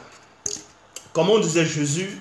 Selon la traduction de Pierre Robert Olivertan, la plus ancienne Bible à l'heure actuelle, l'une des plus anciennes Bibles à l'heure actuelle, dans Pierre Robert Olivertan, dans Matthieu. Le titre, hein, on vous dit, voilà comment il s'appelait, il ne s'appelait pas Jésus. Hein. Donc, au, 7 au 17e siècle, comment on disait Jésus? On disait, je fus. Il s'appelait je fus, Crifus. Je fus Crifus. Pas je fus. Parce que les gens vont entendre, ah, je fus, dont il était. Non. Je fus Christus. Je répète, c'est J-E-F-U-S. Et maintenant, comme il disait Christ, c'est euh, C-H-R-I-F-T. voilà comment il disait. Alors, Jésus apparaît où là? Le nom Jésus apparaît où? Ça apparaît où? Ça apparaît nulle part. Ça les a pas arrangés.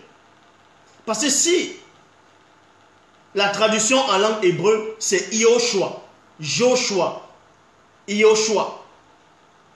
Et en français, c'est Josué. Ça ne les a pas arrangés au Vatican de dire, au nom de Josué, tous genoux fléchissent. Au nom de Josué, on chasse les démons. Ils ont dit, ah non, Josué, là, c'est un nom commun. Il y a trop de noms, il y a trop qui ont porté ce nom-là. On ne veut pas. Donc, on va inventer un autre nom. On va un peu tourner le... On, va abréger, on va enlever, on va dire Jésus. Qui ne veut rien dire. Vous dites que vous faites des miracles. Mais n'est-il pas écrit même vous-même là? À tous ces soi-disant chrétiens pasteurs là qui sont en regarder actuellement. N'est-il pas écrit que il y avait un certain personnage, Simon le magicien, qui dérangeait les gens, qui faisait... Euh, et même les apôtres les ont fait taire? N'est-il pas aussi écrit que le soi-disant Jésus allait donner le pouvoir à ceux qui croient en lui, qui vont renverser toute forteresse, tout raisonnement, bon, à travers Paul quoi, par les paroles de Paul. Pour ramener toute pensée captive à l'obéissance de Christ. N'est-ce pas vous les pasteurs, vous dites qu'on vous a donné ce pouvoir? Si mes pensées sont captives alors, comment vous n'arrivez pas à ramener mes pensées à l'obéissance de votre démon de Jésus? Comment vous n'arrivez pas? Vous n'arrivez pas comment À me faire taire. Comment vous n'arrivez pas? Vous dites que vous avez des pouvoirs. Il y a même ceux des, Mongols, là-bas un peu partout, des faux pasteurs, ils disent qu'ils sortent de l'école ils voyagent. Mais sortez donc de votre corps. Je lance le défi ici, là, en direct. Sortez de votre corps. Tous les chrétiens du monde entier, vous pouvez vous réunir. Vous pouvez prier. Même ce que vous appelez les anges, là. Vous pouvez prier contre moi. Ça ne fera rien du tout. Je dis bien rien. Donc, je vous lance le défi. Tous ceux qui se disent bishop, pasteur, révérend, tous ceux qui pensent qu'ils ont le Saint-Esprit, qu'ils ont la puissance de ce soi-disant Dieu. Venez m'affronter spirituellement. Même si je dors, vous ne pouvez même pas vous raconter des histoires. N'est-ce pas Paul, il arrivait à, à, éteindre ses détracteurs? N'est-ce pas? On vous dit que celui qui va venir blasphémer, on doit fermer sa bouche. Pourquoi vous n'arrivez pas? Vous voyez que je suis plus intelligent que votre Jésus. Je suis plus intelligent, plus instruit que lui. Parce que c'est une invention. Mais réveillez-vous. Réveillez-vous de votre sommeil. On dit le, les témoins de Jéhovah, des Mongols, ils viennent, ils se promènent, ils toc, toc, toc, toc. Il dit non, le, non, Dieu, il a un nom. Il faut l'appeler euh, Jéhovah. Jéhovah. Jéhovah. Il dit, non, Jéhovah, c'est son nom. Parce que quand Abraham a fait le sacrifice, on lui a donné, dans d'autres versions, le mouton. Ils vont vous dire qu'à cet endroit, il a élevé un hôtel, il a dit Jéhovah Jireh. Jéhovah Jireh. Donc à la place, Dieu pourvoira. Jéhovah, c'est qui? C'est un démon, je le dis ici. Yahvé, c'est un démon. L'éternel, c'est un démon. Elohim, c'est un démon. Ces noms-là ne veulent rien dire. Ça ne veut rien dire ces noms-là. Voilà, tous ces gens, ils sont pleins dans les églises tout le temps, tout le temps, tout le temps. Ils sont là, ils prient des idolâtres. Vous priez qui? Vous priez dans le vide. Va te repentir.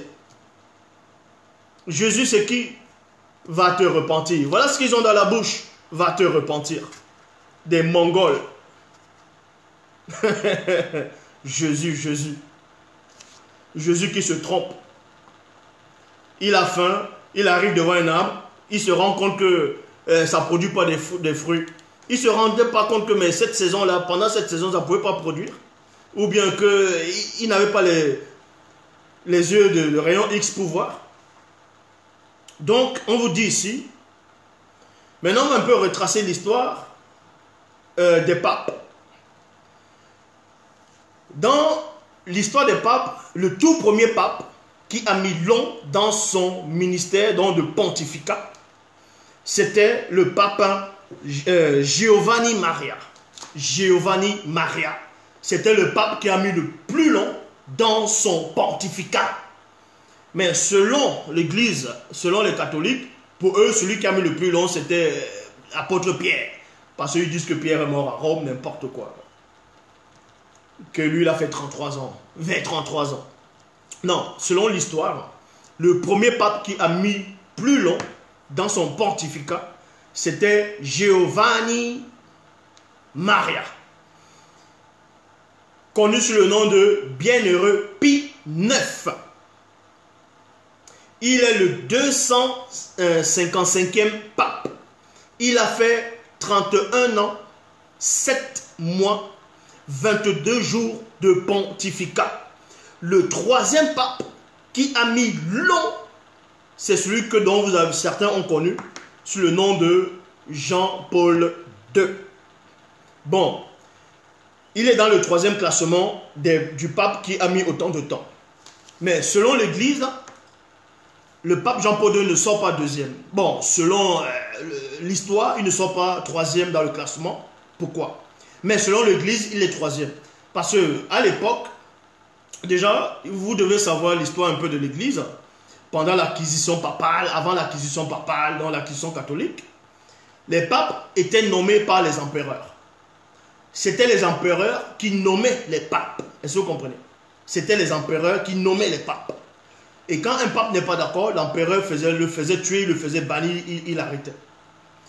Et plus les siècles, plus le temps passait, après ça a changé, c'était maintenant euh, entre eux, dans les évêques, qui nommaient jusqu'à présent. Donc le Saint-Esprit n'a rien à voir là-dedans. Le pape Jean-Paul II est le 264e pape. Il a fait 26 ans, 5 mois et 17 jours de pontificat. Et c'est le même pape Jean-Paul II qui a fait réviser dernièrement la version latine de la Bible, donc en latin. Parce que lui-même, c'était un tétard. Pour votre information, ceux qui ne savent pas, bon, c'est une petite anecdote. Hein. Ça date déjà. Envoyez des cœurs, envoyez des cœurs. Et partagez le direct. Il y avait, quand le, le soi-disant pape était encore en fonction, c'est-à-dire le pape Jean-Paul II à l'époque, ça, ça date hein, déjà. Euh, j'étais dans ma méditation. Il y a eu un démon, un démon puissant de haut lieu, de haut rang plutôt, qui avait pris l'apparence de ce pape Jean-Paul II et qui m'est apparu quand j'étais dans la méditation. Qui m'est apparu, mais à une certaine distance. Pour m'effrayer. Mais il n'a pas pu. Donc, ici on va aller parler de Jean-Paul II. Maintenant, vous pouvez vérifier Alessandre Farnèse, Farnèse plutôt, le 220e pape, connu sous le nom de Paul III, a déclaré ceci. Le pape, c'est-à-dire le pape Alessandre euh, Farnèse, le 220e pape de l'Église catholique, dont Paul III a déclaré en 1548 n'ayant pu découvrir aucune preuve de la réalité historique de Jésus-Christ, de la légende, c'est-à-dire de la légende chrétienne, j'étais dans l'obligation de conclure à un Dieu solaire mythique de plus. Je répète, le 221 pape donc était connu sous le nom de son pontificat Paul III a déclaré en 1548 vous pouvez aller vous pouvez vérifier à 1548 il dit n'ayant pu découvrir aucune preuve de la réalité historique de Jésus-Christ de la légende chrétienne j'étais dans l'obligation de conclure à un Dieu solaire, mythique de plus. Donc, vous comprenez par là que quand on devient pape, je vais vous expliquer une chose. Déjà, pour être prêtre catholique, il faut au moins 7 ans de formation, d'initiation, d'études. Au moins 7 ans. Donc là, c'est prêtre. Maintenant, il y a les évêques, il y a le cardinal, il y a le pape. Donc, on ne devient pas pape n'importe comment, en tout cas chez les catholiques. Il faut avoir fait des études. Il faut avoir une très grande connaissance de l'histoire de la chrétienté, de l'église catholique, que ce soit romaine, de tous les personnages que tu vas citer, de plusieurs livres apocryphes, des civilisations, des récits et des écrits de différents peuples. Donc ce pape-là était instruit selon, à son époque, il avait une grande faculté que tous les soi-disant pasteurs à cette époque, de tous ceux euh, qui ont eu beaucoup de... qui se disent hommes de Dieu. Et ce pape, dans ses études, dans les loges maçonniques, bon, occultes, il a compris par là que ce personnage de Jésus n'existait pas. Mais vous pensez que vous les chrétiens, vous êtes plus instruits, que vous savez mieux que les gens eux-mêmes qui ont falsifié l'histoire, qui ont créé ce personnage-là, inventé ce personnage, l'un d'eux déclare, d'après ses recherches, parce que quand tu deviens pape, si vous ne savez pas, on t'intronise. On te dit, c'est comme un président. Un président, quand il vient, quand on vote un président, quand un président quand un président vient dans les fonctions, on doit lui dire ce que son prédécesseur a fait, ce que son autre prédécesseur au fur et à mesure, avec qui, avec quel pays ils sont en conflit. Euh, euh, bref, on doit lui dire tout ce qui se passe. Et les papes, c'était ça. Et donc lui, dans ses études, ce pape-là, il avait compris que ce Jésus n'existait pas. Mais il y a beaucoup de papes à l'époque qui ont duré plus que Pape Jean-Paul II, mais que l'Église catholique ne reconnaît pas. Puisque pendant les, les, euh, les trucs de pontificat, ils sont allés contre la doctrine de l'Église romaine. Ils sont allés contre ça. On vous dit que le pape, l'avant-dernier pape, on vous dit qu'il a démissionné parce que ceci, cela. Mais vous, parce qu'on vous dit que c'est par rapport à son âge, qu'il était vieux, il était malade. Non, c'est faux. C'est parce que aussi, je dis bien aussi, il allait déjà contre la doctrine de l'Église catholique. Il remettait en cause l'existence d'Adam et Ève, l'existence du paradis de Jésus. Il remettait ça en cause. Parce qu'il a compris que tout ça, ce sont des, des, fabrications. On va même vous dire aussi, maintenant, d'où vient donc la version euh, de la langue hébraïque la Bible hébraïque, ça vient d'où? Ça vient de quelle écriture? Ils ont pris ça où? Vous pouvez vérifier. Vous pouvez taper l'histoire de l'épopée de Gilgamesh. Oui, l'épopée de Gilgamesh. L'épopée de Gilgamesh. Parce qu'il y a des chrétiens qui disent, euh, il y a plein qui disent, il y a plein qui disent, euh, non, il ne faut pas lire d'autres livres qui ne sont pas dans la Bible, parce que d'autres livres qui ne sont pas dans la Bible, ce sont les livres apocryphes, c'est pas bon. Mais ceux qui ont la Bible Tobie, la Bible de Jérusalem, la Bible en français courant, il y a d'autres livres là-dedans qui ne sont pas dans d'autres versions. Donc vous n'allez pas aussi lire ces livres-là parce que c'est aussi apocryphe.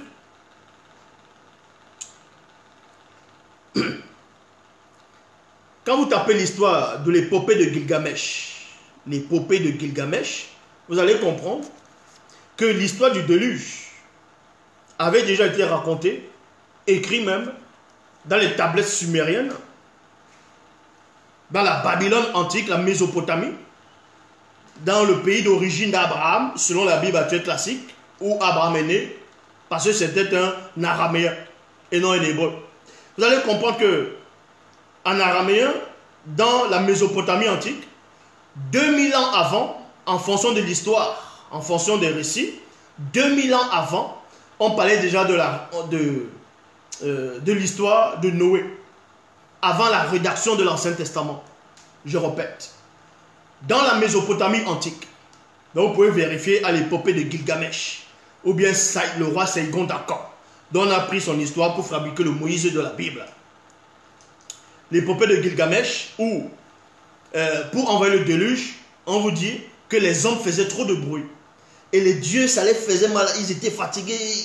Donc ils ont décidé d'envoyer le déluge parce qu'il y a un homme qui a été sauvé par une déesse des eaux, ainsi de suite. Bon, bref. La Mésopotamie, 2000 ans avant la rédaction de l'Ancien Testament, parlait déjà euh, de la création, de la fabrication de l'homme, du jardin d'Éden, le mythe de Moïse sauvé des eaux, donc qui est le roi Saïgon d'Akan, le déluge, le livre d'Esther, donc qui, Esther, selon eux, qui est euh, euh, Ishtar. Et on vous dit ici dans le récit, cependant s'il existe de nombreux récits invoquant le déluge dans d'autres religions, la plus ancienne d'entre eux se trouve dans le livre 11 de l'épopée de Gilgamesh. Test sumérien. Vous voyez? Sumérien. Sumérien datant de 2700 à 2500 avant JC. Avant JC. Ceux qui ont apporté, ils disent qu'ils ont apporté soi-disant la langue hébraïque, l'hébreu. Ils ont copié dans les tablettes sumériennes le mythe du déluge, Noé, Moïse, l'Ancien Testament. Ils ont fabriqué, ils ont commencé à changer, changer. C'est pour ça que vu qu'ils ne savaient pas bien lire hein, ces textes-là, il y a eu des, erreurs, des contradictions dans la langue hébraïque. Et maintenant, on reprend comme ça de l'hébraïque, on fait le grec et du grec le latin. Le latin, voilà les Bibles que vous avez. Vous dites Jésus, Jésus, la théophanie, que Jésus est Dieu le Père. N'importe quoi. Vous n'avez même pas honte. Les gens se sont assis, ils ont commencé à inventer des choses. Ils ont inventé des personnages, ils ont inventé des récits. On a fouetté vos ancêtres d'accepter ça. On les a mis en esclavage. Et les, enfants dont vous, vous là, qui êtes à fond dans toute forme de religion actuelle, vous revenez, vous discutez, vous faites même les débats sur les plateaux de télévision. Ah non, Dieu n'aime pas la polygamie. Ah non, Jésus-Christ est Dieu. Non, Jésus n'est pas Dieu. Voilà ce que vous dites alors que vous adorez les mêmes choses inventées. Vous accusez les autres, vous faites les mêmes choses. Vous accusez ceux qui demandent la dîme. Ceux, ceux qui font n'importe quoi, et vous-même, vous adorez le même personnage. Vous adorez le même faux Dieu. Donc, comme je dis ici,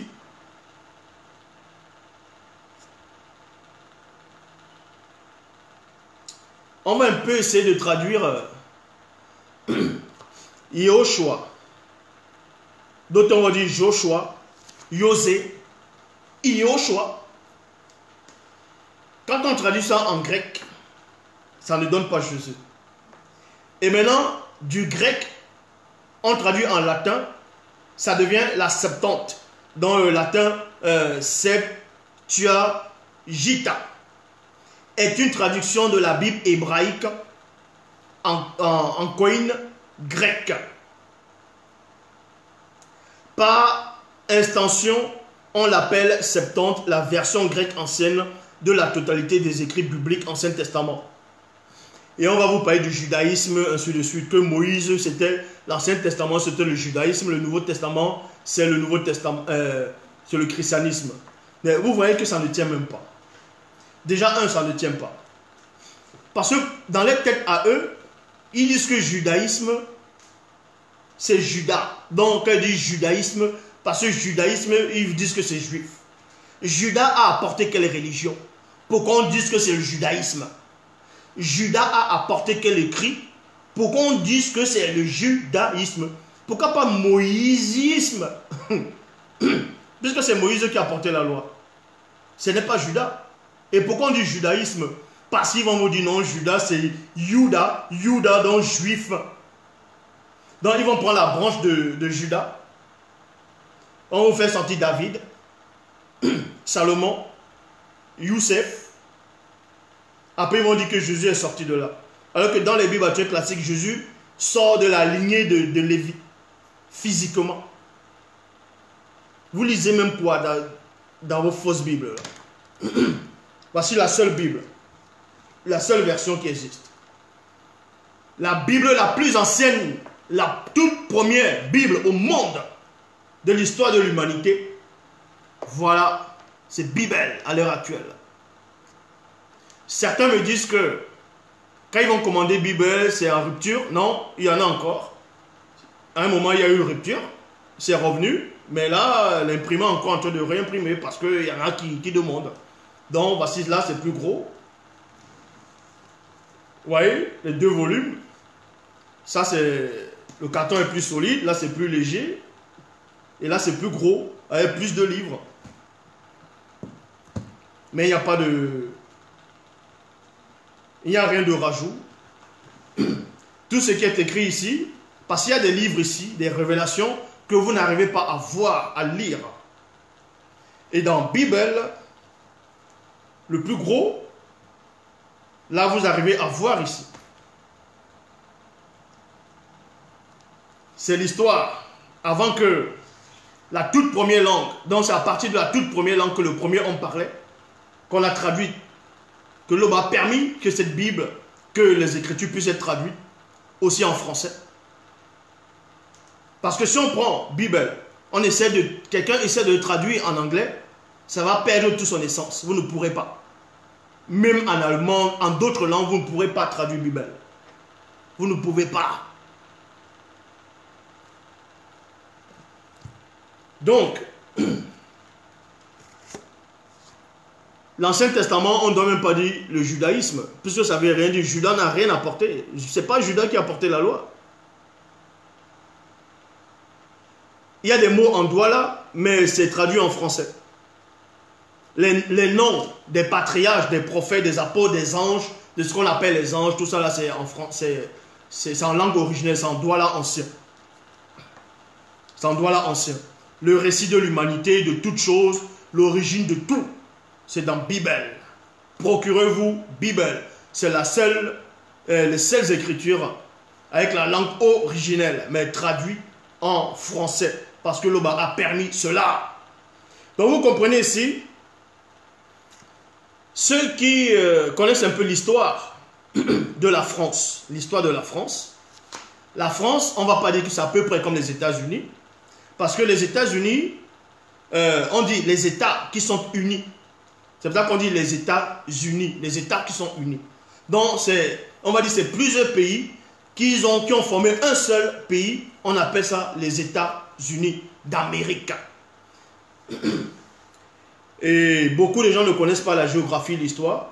Quand on dit un Canadien, un Canadien c'est un Américain, vu qu'il est dans, selon l'histoire, euh, la géographie, il est dans le continent américain. Donc un Canadien c'est un Américain, un Haïtien c'est un Américain vu qu'ils sont dans, le, dans, ce continent. Maintenant, le français. Maintenant, pourquoi le français? Mais je vais répondre après. Euh, dans, si vous connaissez l'histoire de la France, la France aussi a fait à peu près comme l'Amérique, a rassemblé plusieurs petits pays, plusieurs pays à l'époque, pour former ce qu'on appelle la France. Eh oui. Parce que quand on dit la Bretagne, les Bretons, avant c'était pas la France, puisque les Bretons avaient les langues.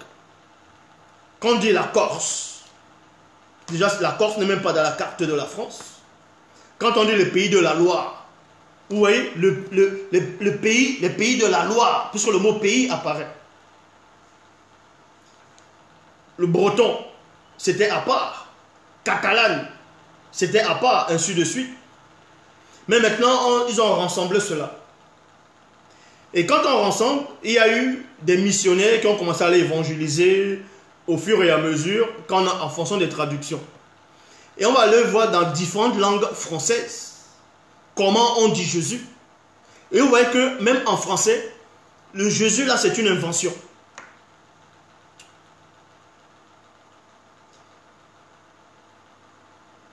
Dans la langue catalane, on dit Josué. En breton, on dit Yehoshua. On dit Jehoshua. On ne dit pas Jésus sur les bretons.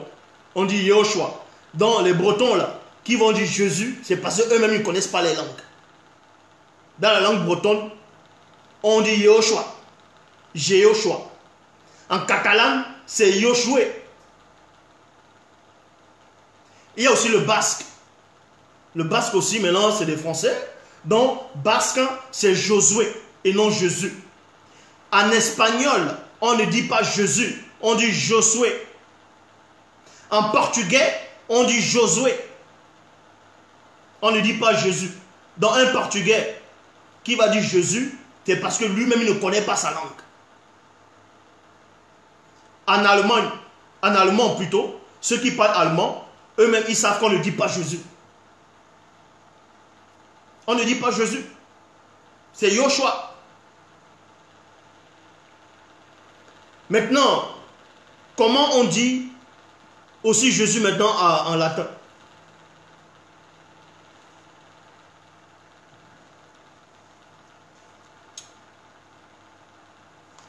On ne dit pas Jésus. Le mot Jésus n'apparaît pas. Donc Jésus ne veut rien dire. Josué, Yoshua, Yoshua, ça veut dire selon les Hébreux, selon la langue hébraïque, Josué, euh, Yoshua, Yoshua veut dire en gros euh, c'est le Seigneur ou bien euh, Yahvé qui sauve ou bien euh, oui, Jéhovah qui sauve. Et ils vont me dire que Jésus, ça veut aussi dire que Jésus, ça veut dire aussi Dieu qui sauve. Non, Jésus ne veut rien dire. Le nom de Jésus ne chasse pas les démons. Ça ne chasse pas. Vous voyez des gens, le dimanche, il vient, on dit qu'on les chasse les démons. Le dimanche d'après, ils reviennent encore.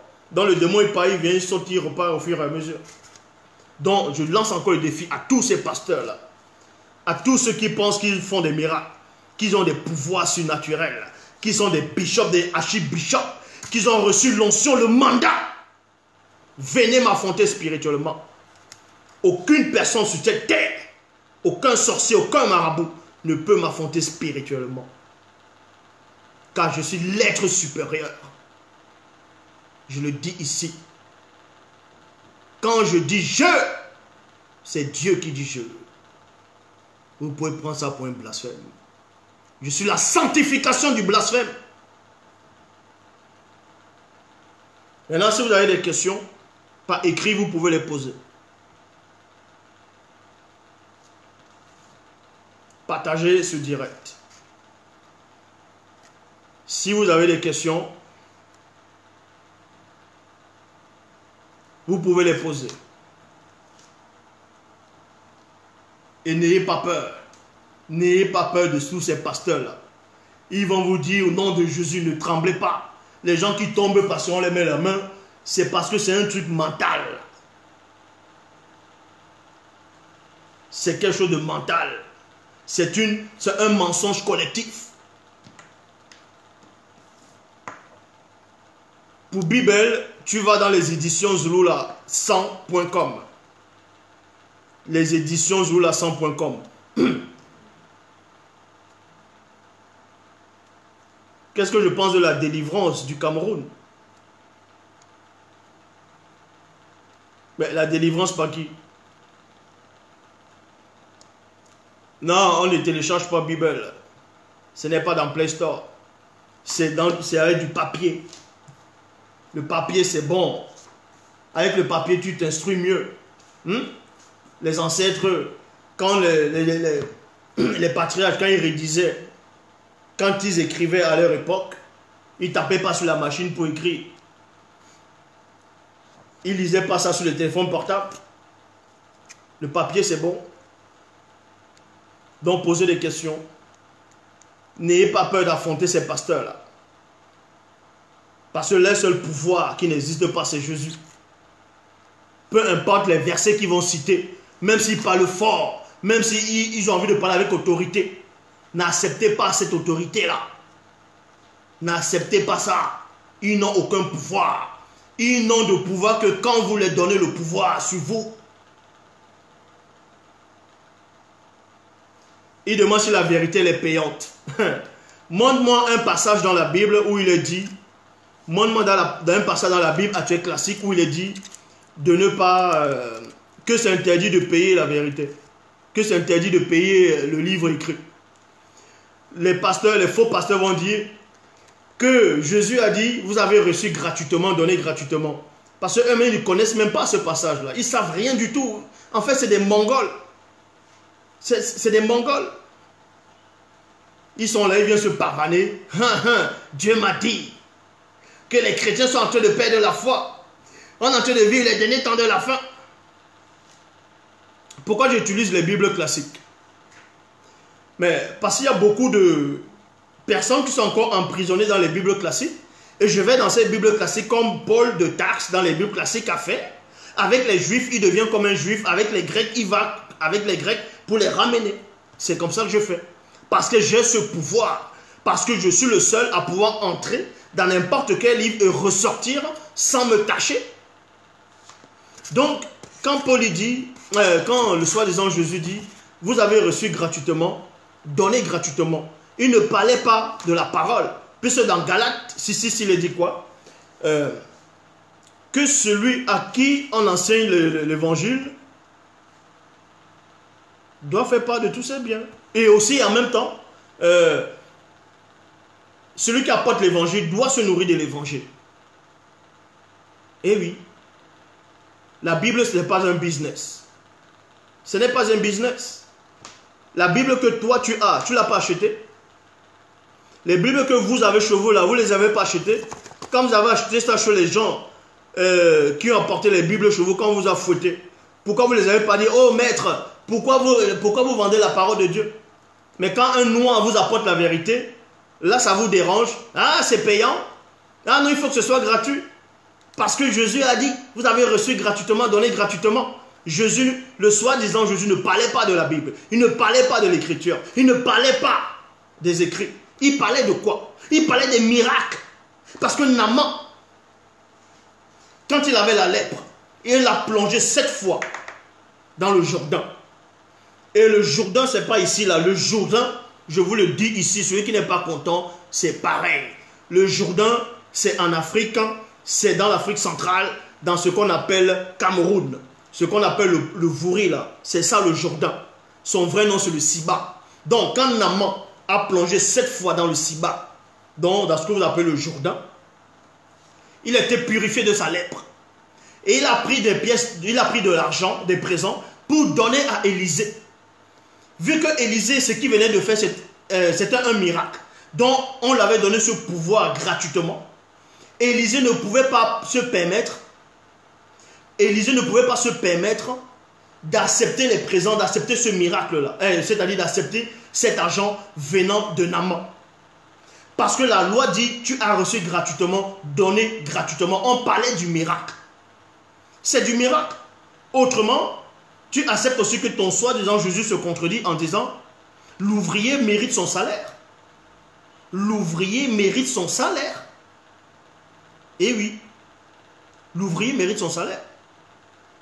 Vous pensez que c'est le temps d'Élie, dont vous appelez Élie le Tishbit, que c'est le corbeau qui va venir euh, me donner le, le le missolé, tout ça là Arrêtez un peu de délirer. Tu ne veux pas te procurer Bible, chacun est libre. La seule connaissance est là. Donc, à tous ces faux pasteurs, à tous ces chrétiens qui vont vous dire On n'achète pas la sanctification.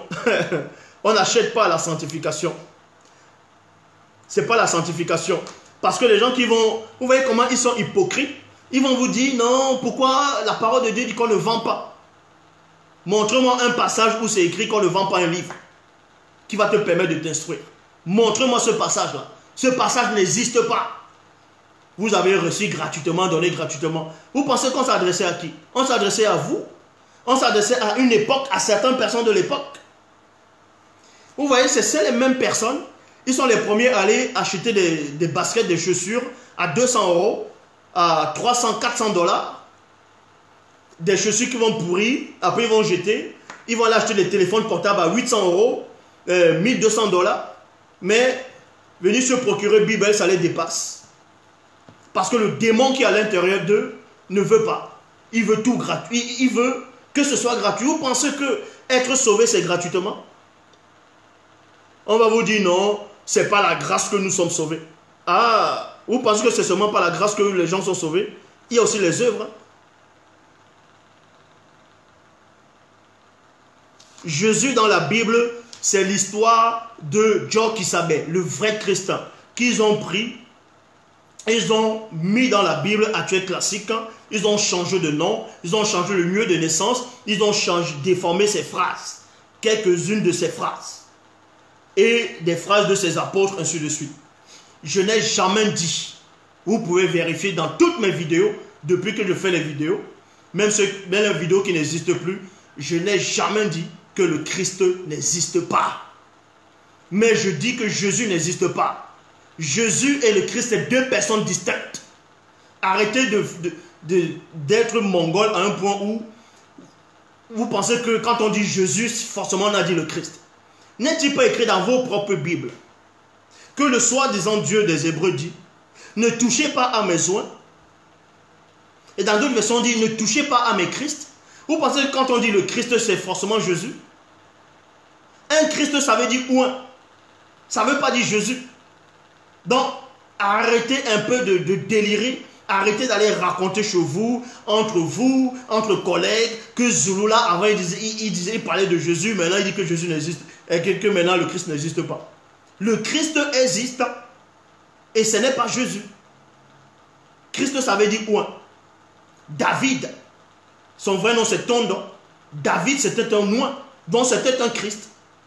Les rois initiés, c'était des Christ. Quand on te, on te consacre avec l'huile d'onction ou pas le mundi, l'esprit, tu deviens un consacré, un noir, dont un Christ. C'est pour ça qu'on dit ne touchez pas à mes Christ. On n'a pas dit ne touchez pas à mon Christ, mais à mais, mais, c'est le pluriel. Donc il y a eu plusieurs Christ dans, dans la Bible. Même dans la prophétie de Daniel. Quand on parlait de le loin, on dit qu'un Christ un Christ sera retranché.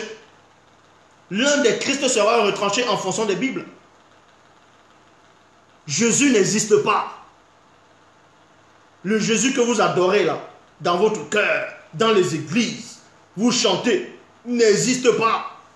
Je le dis encore, mais le vrai Christ, lui, a existé. Et c'est Dieu qui savait. En même temps qu'il est Koudoumane Moula.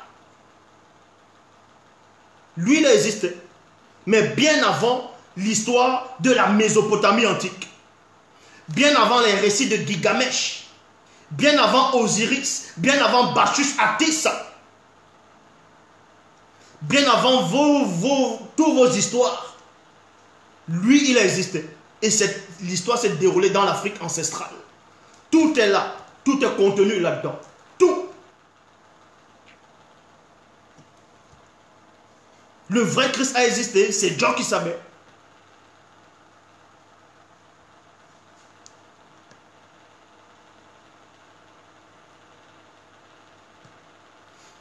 Ils sont là, viennent raconter des histoires. Que non, il y a 12 tribus d'Israël. Quelles 12 tribus d'Israël? Vous pensez que ceux qu'on appelait Israël, dont Jacob, dont Yekuba, Jacob, son vrai nom c'est Tindi. Vous pensez qu'il n'avait que 12 enfants? Il avait 13 enfants, 13. Vous ne comptez pas 10, non? Il avait 13. Donc il y a eu 13 tribus. Qu'est-ce que vous racontez? Vous n'êtes pas capable ici de me prouver le contraire de ce que je dis. Vous allez juste dire repens-toi. Voilà ce que vous avez dans la bouche. Repens-toi. Je me repens sur qui? Je me repens sur quoi? J'ai fait quoi? J'ai fait quoi pour me repentir? J'ai fait quoi? Ma conscience ne me juge pas. Vous là, vous parlez de l'enlèvement, l'enlèvement. Si l'enlèvement a lieu maintenant, là, moi je disparais là, là, poum, et je serai le premier à monter. Ah oui, ça vous ne savez pas ça? Si l'enlèvement a lieu maintenant, je serai le premier à monter. je vous le dis ici. Donc arrêtez d'avoir peur. Il vient en Afrique, ils effacent toute votre histoire, on vous efface complètement, et on vous dit allez adorer les dieux, inventés des autres peuples. Et vous êtes là-dedans, vous adorez, vous adorez. Et quand quelqu'un commence à réfléchir, voit des anomalies, des choses qui ne vont pas, ah, arrête de réfléchir. Ah, donc depuis, Dieu n'aime pas les gens qui réfléchissent. Dieu n'aime pas les gens qui réfléchissent. Donc Thomas, pourquoi on n'a pas mis Thomas dehors? Donc arrêtez un peu de délirer. Arrêtez de délirer. Jésus, c'est un séducteur.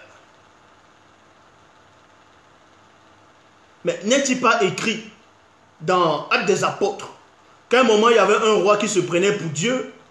À un moment, on lui dit, les gens qui étaient en face de lui disaient, c'est la voix d'un Dieu et non celui d'un homme. On lui dit qu'un ange est descendu, il a frappé sur le cou et les vers sont sortis. Mais pourquoi l'ange de l'éternel n'apparaît pas alors? Il vient me frapper pour le soi-disant blasphème que je suis en train de dire. Il, est où là cet ange de l'éternel Il est où? Cet ange là n'existe pas. Cet ange-là n'existe pas. C'est une invention. Moutate dit existe. C'est celui qui guide et qui intronise les initiés. Mundima Beko qui s'est dit existe. Et c'est lui qui châtie. C'est l'entité des châtiments en charge du domaine de la nature. Partagez cet enseignement. N'ayez pas peur.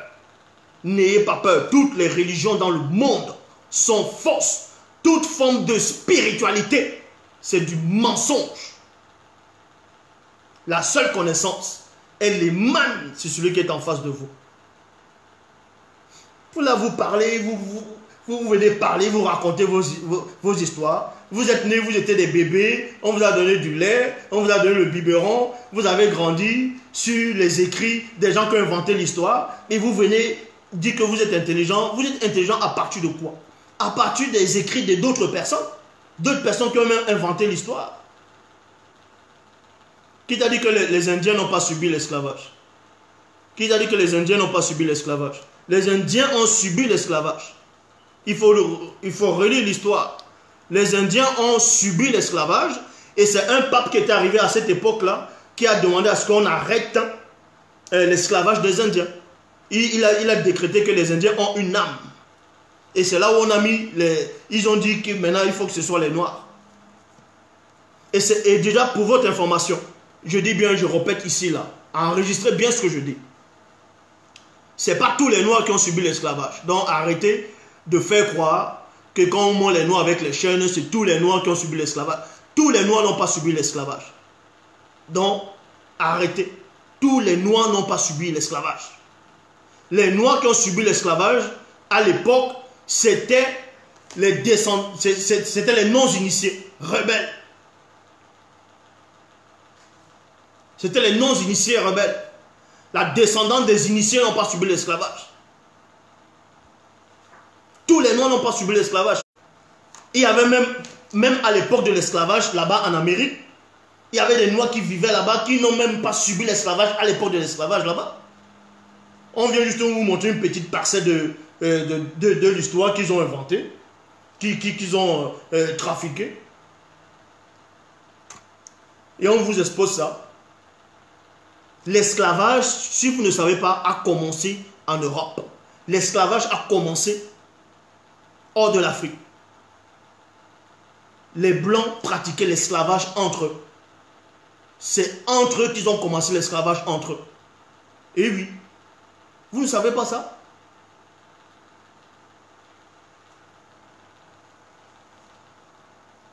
C'est entre eux qu'ils ont commencé l'esclavage. C'était entre eux. Et ça a duré longtemps, pendant des siècles. Ça là, ils ne vous racontent pas ça. Après, ça a été sur le tour des Indiens. Après, un, papa dit non, les Indiens, euh, ils ont une âme. Maintenant, il faut que ce soit les Serrazins. Et c'était les Noirs. Et ce n'était pas tous les Noirs. Donc arrêtez de faire croire que c'est tous les Africains qui ont subi l'esclavage. N'importe quoi.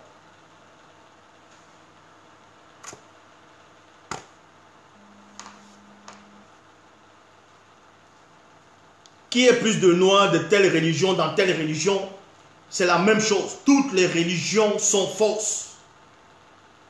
La spiritualité et la religion, c'est deux choses distinctes. La spiritualité, ça veut dire quoi? Je vais vous donner la définition de mot spiritualité. La spiritualité, c'est la vie, c'est la spiritualité, la vraie définition de spiritualité, ce n'est pas la religion, la définition de spiritualité, euh, c'est le quotidien de l'esprit. Est-ce que vous comprenez? Un esprit qui se mouve, qui parle, qui bouge, tout ça là, qui est soumis au Créateur, c'est la spiritualité. C'est la spiritualité.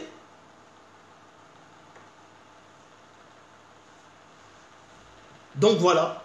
C'est pour ça qu'on me dit, que la spiritualité est une question de race. Ça ne veut pas dire que c'est du racisme. Donc arrêtez de déformer les phrases. Quand on dit la spiritualité est une question de race, de même qu'on va dire que l'univers est noir. Mais parce qu'on va dire que l'univers est noir, que quelqu'un va dire Ah, tu es raciste, mais tu vois qu'ils disent que l'univers est blanc alors que c'est noir. C'est pareil avec l'homme noir. Les entités du grand ordre des choses. Le premier homme est noir. On l'a créé noir parce que quand ce qu'on appelle, vous, euh, vous, vous l'appelez en, fonction des, en fonction des religions, on les appelle les anges, d'autres les appellent les malaïkas. Mais dans la langue originelle, c'est les Ba Mouloloma. C'est-à-dire sont les anges. Les Ba Mouloloma. C'est les vrais noms. Eux, dont les êtres de lumière, quand ils viennent sur terre, c'est l'homme noir qu'on voit. C'est un noir qu'on voit. Vous voulez qu'il devienne quoi? Que quand il vient sur terre, il, prend l'apparence d'un Indien, de je sais pas de quoi. Non? Vu que de l'autre. Mais ce sont des Noirs. Ce sont des Noirs. Ça vous arrange qu'on vous dise dans les Bibles inventées que Yahvé a donné Elohim, a fait Adam à son image. Et on dessine Adam, il est blanc. Là, là pour vous, c'est normal. Mais quand on dit le premier homme était noir, ah, donc ça dire que Dieu, il est noir. La spiritualité est une question de race le soleil est noir. Est-ce que vous comprenez? Quand dit le soleil est noir, mais on le voit jaune, non? Deux fois. C'est la déienne du soleil qui est noire. Le lion lui-même, il est noir. La nature, la faune et la flore, c'est noir. Tout est noir. Parce que c'est la spiritualité. Donc je dis, tout ce qu'on fait subir aux noirs là-bas, que ce soit en Amérique, l'injustice un peu partout là, tout ça, ça servira à rien l'homme noir va reprendre sa place originelle. C'est la prophétie? Ils le font, c'est parce qu'ils ont peur. Ils ont fait ça en Afrique du Sud. Il y a des choses que je ne vais pas dire ici.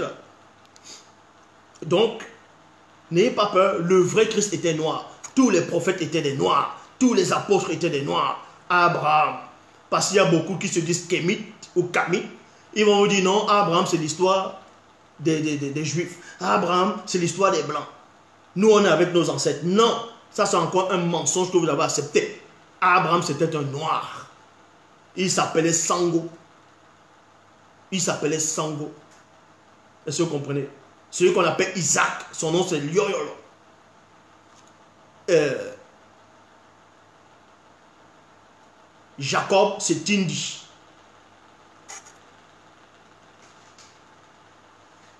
Donc, arrêtez d'embrouiller les gens dans vos églises. Ils vont vous dire, oui, mais la couleur n'a aucune importance. Si le Christ est blanc ou noir ou jaune ou rouge, ça change quoi? Ben, Ça change que euh, le Créateur a permis a permis que le premier homme soit noir. Et ce n'est pas toi avec ton petit cerveau de, maintenant qui vient de naître qui va dire ça change quoi? Tu es qui pour remettre l'œuvre du Créateur en question, l'œuvre de l'aube en question? Tu es qui pour te poser les questions? Tu es qui? Tu te prends pour qui? Tu viens de naître, ton, toute ton intelligence sort d'où? De Wikipédia, Internet, les livres, euh, euh, Arte, l'étude des historiens. Voilà où tu t'instruis. Voilà ton intelligence. Et tu dis que tu es sage. Mais ça, ce n'est pas la sagesse. Moi, je suis l'intelligence. Je n'ai pas besoin des livres, tout cela pour m'instruire. Je suis l'instruction. Ça vous dérange parce qu'on n'avait jamais vu quelqu'un comme moi? On n'avait jamais vu quelqu'un. Je n'ai pas besoin de faire que Abraham soit noir. C'est écrit ici, là, dans la seule Bible authentique, la toute première, les tout premiers écrits, c'est écrit dans Bible que Abraham était noir. C'est pas moi qui l'invente, c'est écrit. C'est écrit ici. C'est écrit dans Bible. Celui qui n'est pas content, c'est son problème. Voilà.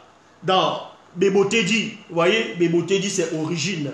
Béboté dit chapitre 12. Il est dit, plusieurs années après ces événements, il arriva que Moutatedi, Moutatedi, c'est l'entité qui guide et qui intronise les initiés. Donc, ils ont pris Moutatedi, ils l'ont mis dans la Bible à ils ont dit que c'est l'ange de l'éternel. Donc, Moutatedi, plusieurs années après ces événements, il arriva que Moutatedi apparut à un homme noir, à un homme noir, à un homme noir, connu sous le nom de Sango, donc c'est-à-dire Abraham, et lui dit, quitte Wasse Djedou. Wasse Djedou, c'est l'Afrique de l'Ouest, hein, plutôt l'Afrique de l'Est. Ton lieu natal de la maison de ton père, ce lieu peuplé d'idoles et d'adorateurs de faux dieux, tout comme ton géniteur. Et va à Wasse Moutonga, donc qui est Afrique centrale, lieu natal du père de ton père et de la mère de ta mère qui était issue de la tribu Sawa. Voilà la vérité. La vérité, elle est là. Donc, peu importe les historiens qui peuvent venir. Les auteurs de la Bible, mais c'est le Mundi qui inspire.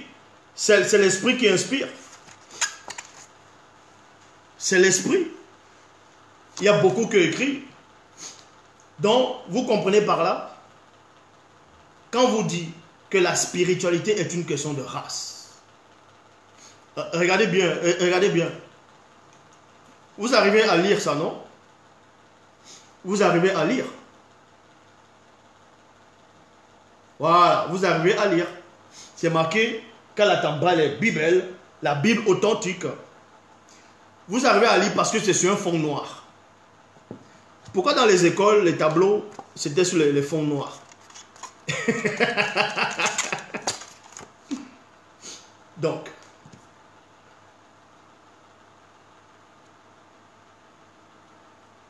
ils ont laissé euh, les preuves physiques de leur existence. Ils ont laissé. Ils ont laissé les, preuves physiques de leur existence. Le problème avec l'homme noir à l'heure actuelle, c'est quoi? C'est que l'homme noir, il ne passe pas son temps à faire l'archéologie, il ne passe pas son temps à rechercher euh, euh, les preuves, que ce soit scientifiques de ses ancêtres, de, de, ce qui s'est passé. Il y a encore ces preuves-là, il y a les vestiges à l'heure actuelle en Afrique. Il y en a.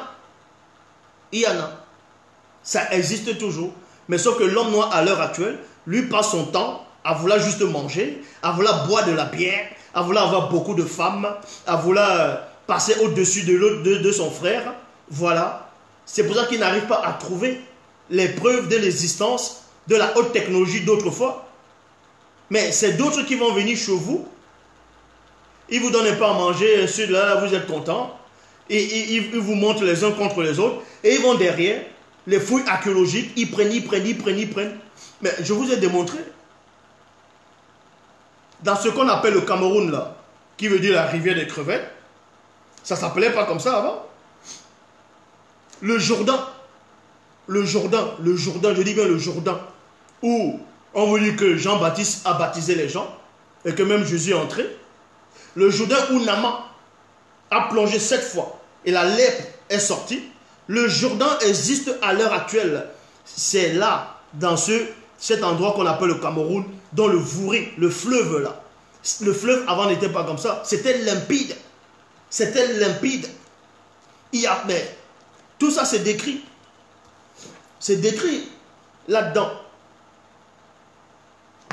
Dans ce volet-ci. Donc,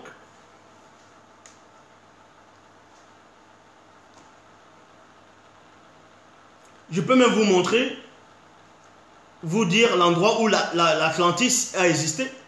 L'Atlantide. On parle de l'Atlantide dans Bible. Qui étaient les Atlantes? Les Atlantes, c'était des Noirs. On vous explique où ils étaient, dans quelle partie du monde où ils étaient. Où en Afrique. Ce territoire existe toujours. C'est quand dit le mont Sinaï, où on vous dit que Dieu a apparu, a parlé à Moïse, alors que dans le livre des Actes des Apôtres, on dit que c'était les anges qui parlaient. Cet endroit existe aussi. Ça existe toujours. Mais ça n'a rien à voir avec le, votre faux mont Sinaï là.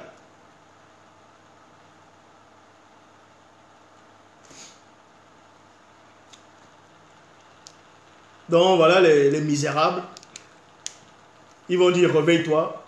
Dites plutôt à votre Dieu de se réveiller puisqu'il dort. Vu que David avait dit Seigneur, réveille-toi, ne t'endors pas, ouvre les yeux. Parce que David lui-même reconnaît que le, le Dieu des Hébreux, il dort. Il reconnaît que le Dieu des Hébreux dort. Eh oui. Vous pensez que le Cameroun, on dit l'Afrique en miniature seulement par rapport à toutes ces saisons? C'est là où tout a commencé. Je le dis ici. Aucun historien ne peut me prouver le contraire. Donc ils vont venir raconter des histoires. Que non, avant c'était comme ça, c'était comme ceci. Ils vont prendre ça dans d'autres livres. Que d'autres écrivains ont pris. Mais vous en savez quoi? Vous en savez quoi? Il vient vous raconter que euh, l'univers date de cela il y a 13 à 15 milliards d'années. Mensonge. Quel univers date de 13 à 15 milliards d'années?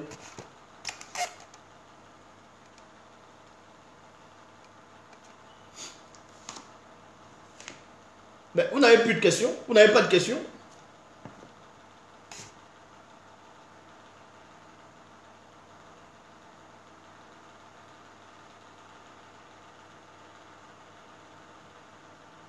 Donc, les buts, ils aiment quand les Noirs vont dans les églises, ils aiment quand les Blancs adorent Jésus, euh, quand les Noirs adorent Jésus, et ainsi de suite. C'est parce que quand plus vous adorez les, euh, les faux dieux inventés, plus vous adorez Jésus, plus vous devenez, plus la, sagesse disparaît. Vous devenez, la sagesse que vous avez disparaît au fur et à mesure. Vous ne serez même plus capable de, euh, vous serez même plus capable de, fabriquer la technologie parce que votre cerveau est juste là comme des Mongols.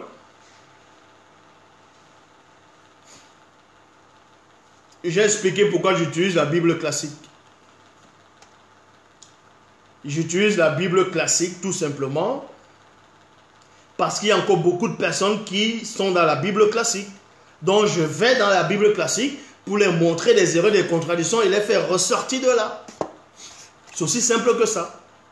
C'est pour ça que même dans la Bible actuelle classique, il est dit que soi-disant fils de Dieu est né dans la loi pour ramener les gens hors de la loi et les ramener dans la grâce. Ça vous vous posez pas la question, mais moi quand je fais, ah, pourquoi tu fais ça?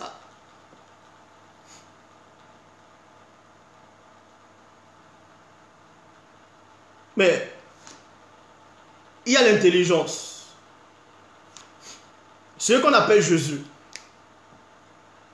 Je dis bien ce qu'on appelle Jésus. Tous ceux qui vont accepter ce Jésus sont dans le mensonge. Tous ceux qui acceptent Jésus sont dans le mensonge.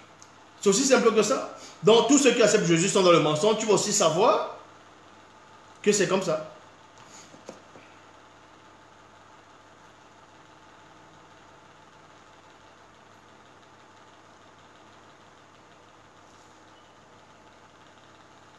Donc, celui qui n'est pas content, avec ce que je dis, c'est son problème. S'il y a une date dans la Bible, l'année où Abraham est né, déjà, même si je te donne l'année où Abraham est né, tu ne pourras pas connaître cette année-là. Pourquoi? Parce qu'il y a eu plusieurs calendriers. Il y a eu le, calendrier romain, le calendrier julien, et oui, ainsi de suite. Il y a eu le calendrier julien, où on pouvait nommer les dates, ainsi de suite. Il y a le calendrier romain. Mais tu veux que je te donne quel calendrier? À l'époque où Abraham est né, à partir de quel calendrier? Le calendrier romain, julien, quel calendrier?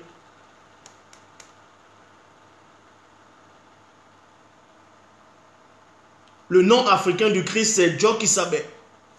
En même temps, Koudoumane Moula. C'est Jokisabe.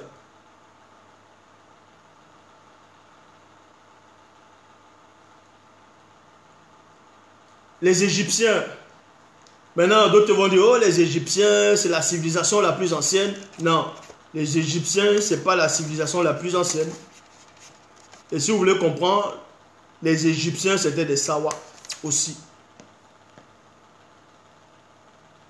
La Bible, les Bibles actuelles classiques sont des livres inspirés par des démons.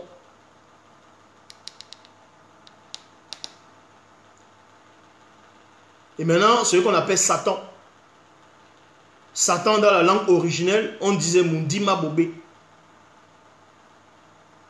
Mais le but des personnes qui ont falsifié l'histoire, qui ont falsifié les Écritures, mais c'était pour contrôler. Quand tu lis l'histoire de l'empereur Constantin, bon, le faux empereur, quoi, Constantin, l'empereur romain, même avant même l'histoire du conseil de Nicée, même pendant la période du conseil de Nicée, l'empereur Constantin, mais avant Constantin, il croyait euh, aux faux dieux grecs, les faux dieux grecs, c'est-à-dire romains, puisque les dieux grecs et les dieux romains, c'était les mêmes personnes. Parce que quand on dit Zeus, Zeus, c'est dans la Grèce antique, et chez les Romains, c'est Jupiter. Et Hercule, chez, les Grecs, et le même Hercule, dans, chez les Romains, c'est Héraclès. Ainsi de suite. Donc, à un moment, les chrétiens, bon, pas les chrétiens, ce qu'on appelle les païens, les païens c'était toujours des Grecs, ils ont commencé à adorer une, une certaine divinité. Donc, un personnage, élever quelqu'un et tout le monde allait seulement vers cette personne à cette époque. Et c'est là où les Romains, le Constantin a dit, mais attends, c'est qui cette personne-là? Mais cette personne-là, on ne le nommait pas. Mais c'était quand même euh, toujours l'histoire de Dionysos, Attis, ainsi de suite. Même Osiris, euh, euh, c'était toujours le même personnage que à ce moment, au, au temps de Constantin, ils étaient en train d'adorer. Et Constantin a vu que les païens de cette époque élevaient, on va dire, selon eux, une autre personne, une autre forme de divinité, une autre personne. Donc, Constantin avait peur que si les dieux romains disparaissent, eux aussi, ils n'auront plus de pouvoir, parce qu'eux, ils contrôlaient. Donc, les gens religieux de cette époque, s'ils n'acceptaient pas la nouvelle personne qui venait, les nouvelles idées, aussi ils allaient disparaître. Ils ont juste pris ce que les païens ont élevé, ils ont transformé ça, ils ont dit c'est Jésus. Ils ont dit c'est Jésus. Ils ont dit non, on va prendre cette personne que les païens adorent, que les païens adorent, on va prendre cela, on va le récupérer, on va l'introduire dans, dans nos récits falsifiés, et on va dire que c'est le Fils de Dieu. Et on va dire que c'est le Fils de Dieu. Que en même temps, c'est la Trinité, le Père, le Fils et le Saint-Esprit. C'est pour cela que dans l'histoire des Romains, ben, de, quand vous voyez en le 220e pape, donc connu sous le nom de Paul III, connu sous le nom de Paul III, a déclaré en 1548 n'ayant pu découvrir aucune preuve de la réalité historique de Jésus-Christ, de la légende chrétienne. Vous voyez, c'était une légende des chrétiens. Et ces chrétiens-là avaient pris ça chez les païens. Et les païens aussi avaient pris ça chez d'autres peuples. Et d'autres peuples ont pris ça au fur et à mesure. En en fonction de l'époque, le personnage change juste de nom, il change de nom, il change de nom, il change de nom. Donc ici, là, on va l'appeler Dionysos. Là, on va l'appeler Bachuch. Là, Atis, Bouddha, ainsi de suite, ainsi de suite, jusqu'à donner maintenant Jésus. Oh là là là là. Alors qu'au départ, c'était tout simplement Dieu qui savait. Maintenant, on va un peu lire. Bon, on va pas tarder, on va juste lire un peu. On va lire un peu, si l'homme le permet. Donc, dans Koudoumane 53, là c'est le vrai Christ Dieu qui s'appelle lui-même qui parle. Il dit ici, dans le verset 60, car quelque temps après mon départ apparaîtront dans chaque civilisation des récits mensongers de l'existence de faux Christ, issus de l'imagination corrompue de tous ceux qui ne connaissent point la vérité ils donneront des noms et croyants. Non, ils donneront des noms qui seront connus à leur époque sous les appellations. Bon, il y a beaucoup de noms jusqu'à arriver euh, à, Jésus-Christ. Donc, Yesu, Yosua, ainsi de suite. Verset 63. Le faux Christ le plus influent à la manifestation du deuxième, de l'époque, à l'époque de la manifestation du deuxième, portera le nom de Jésus-Christ dans Yesu. Voilà, le vrai Christ a prophétisé sur moi à mon époque et voici ce qui est en train de se passer. L'Oba s'est encore glorifié. Partagez avec, partagez ce direct et n'ayez pas peur.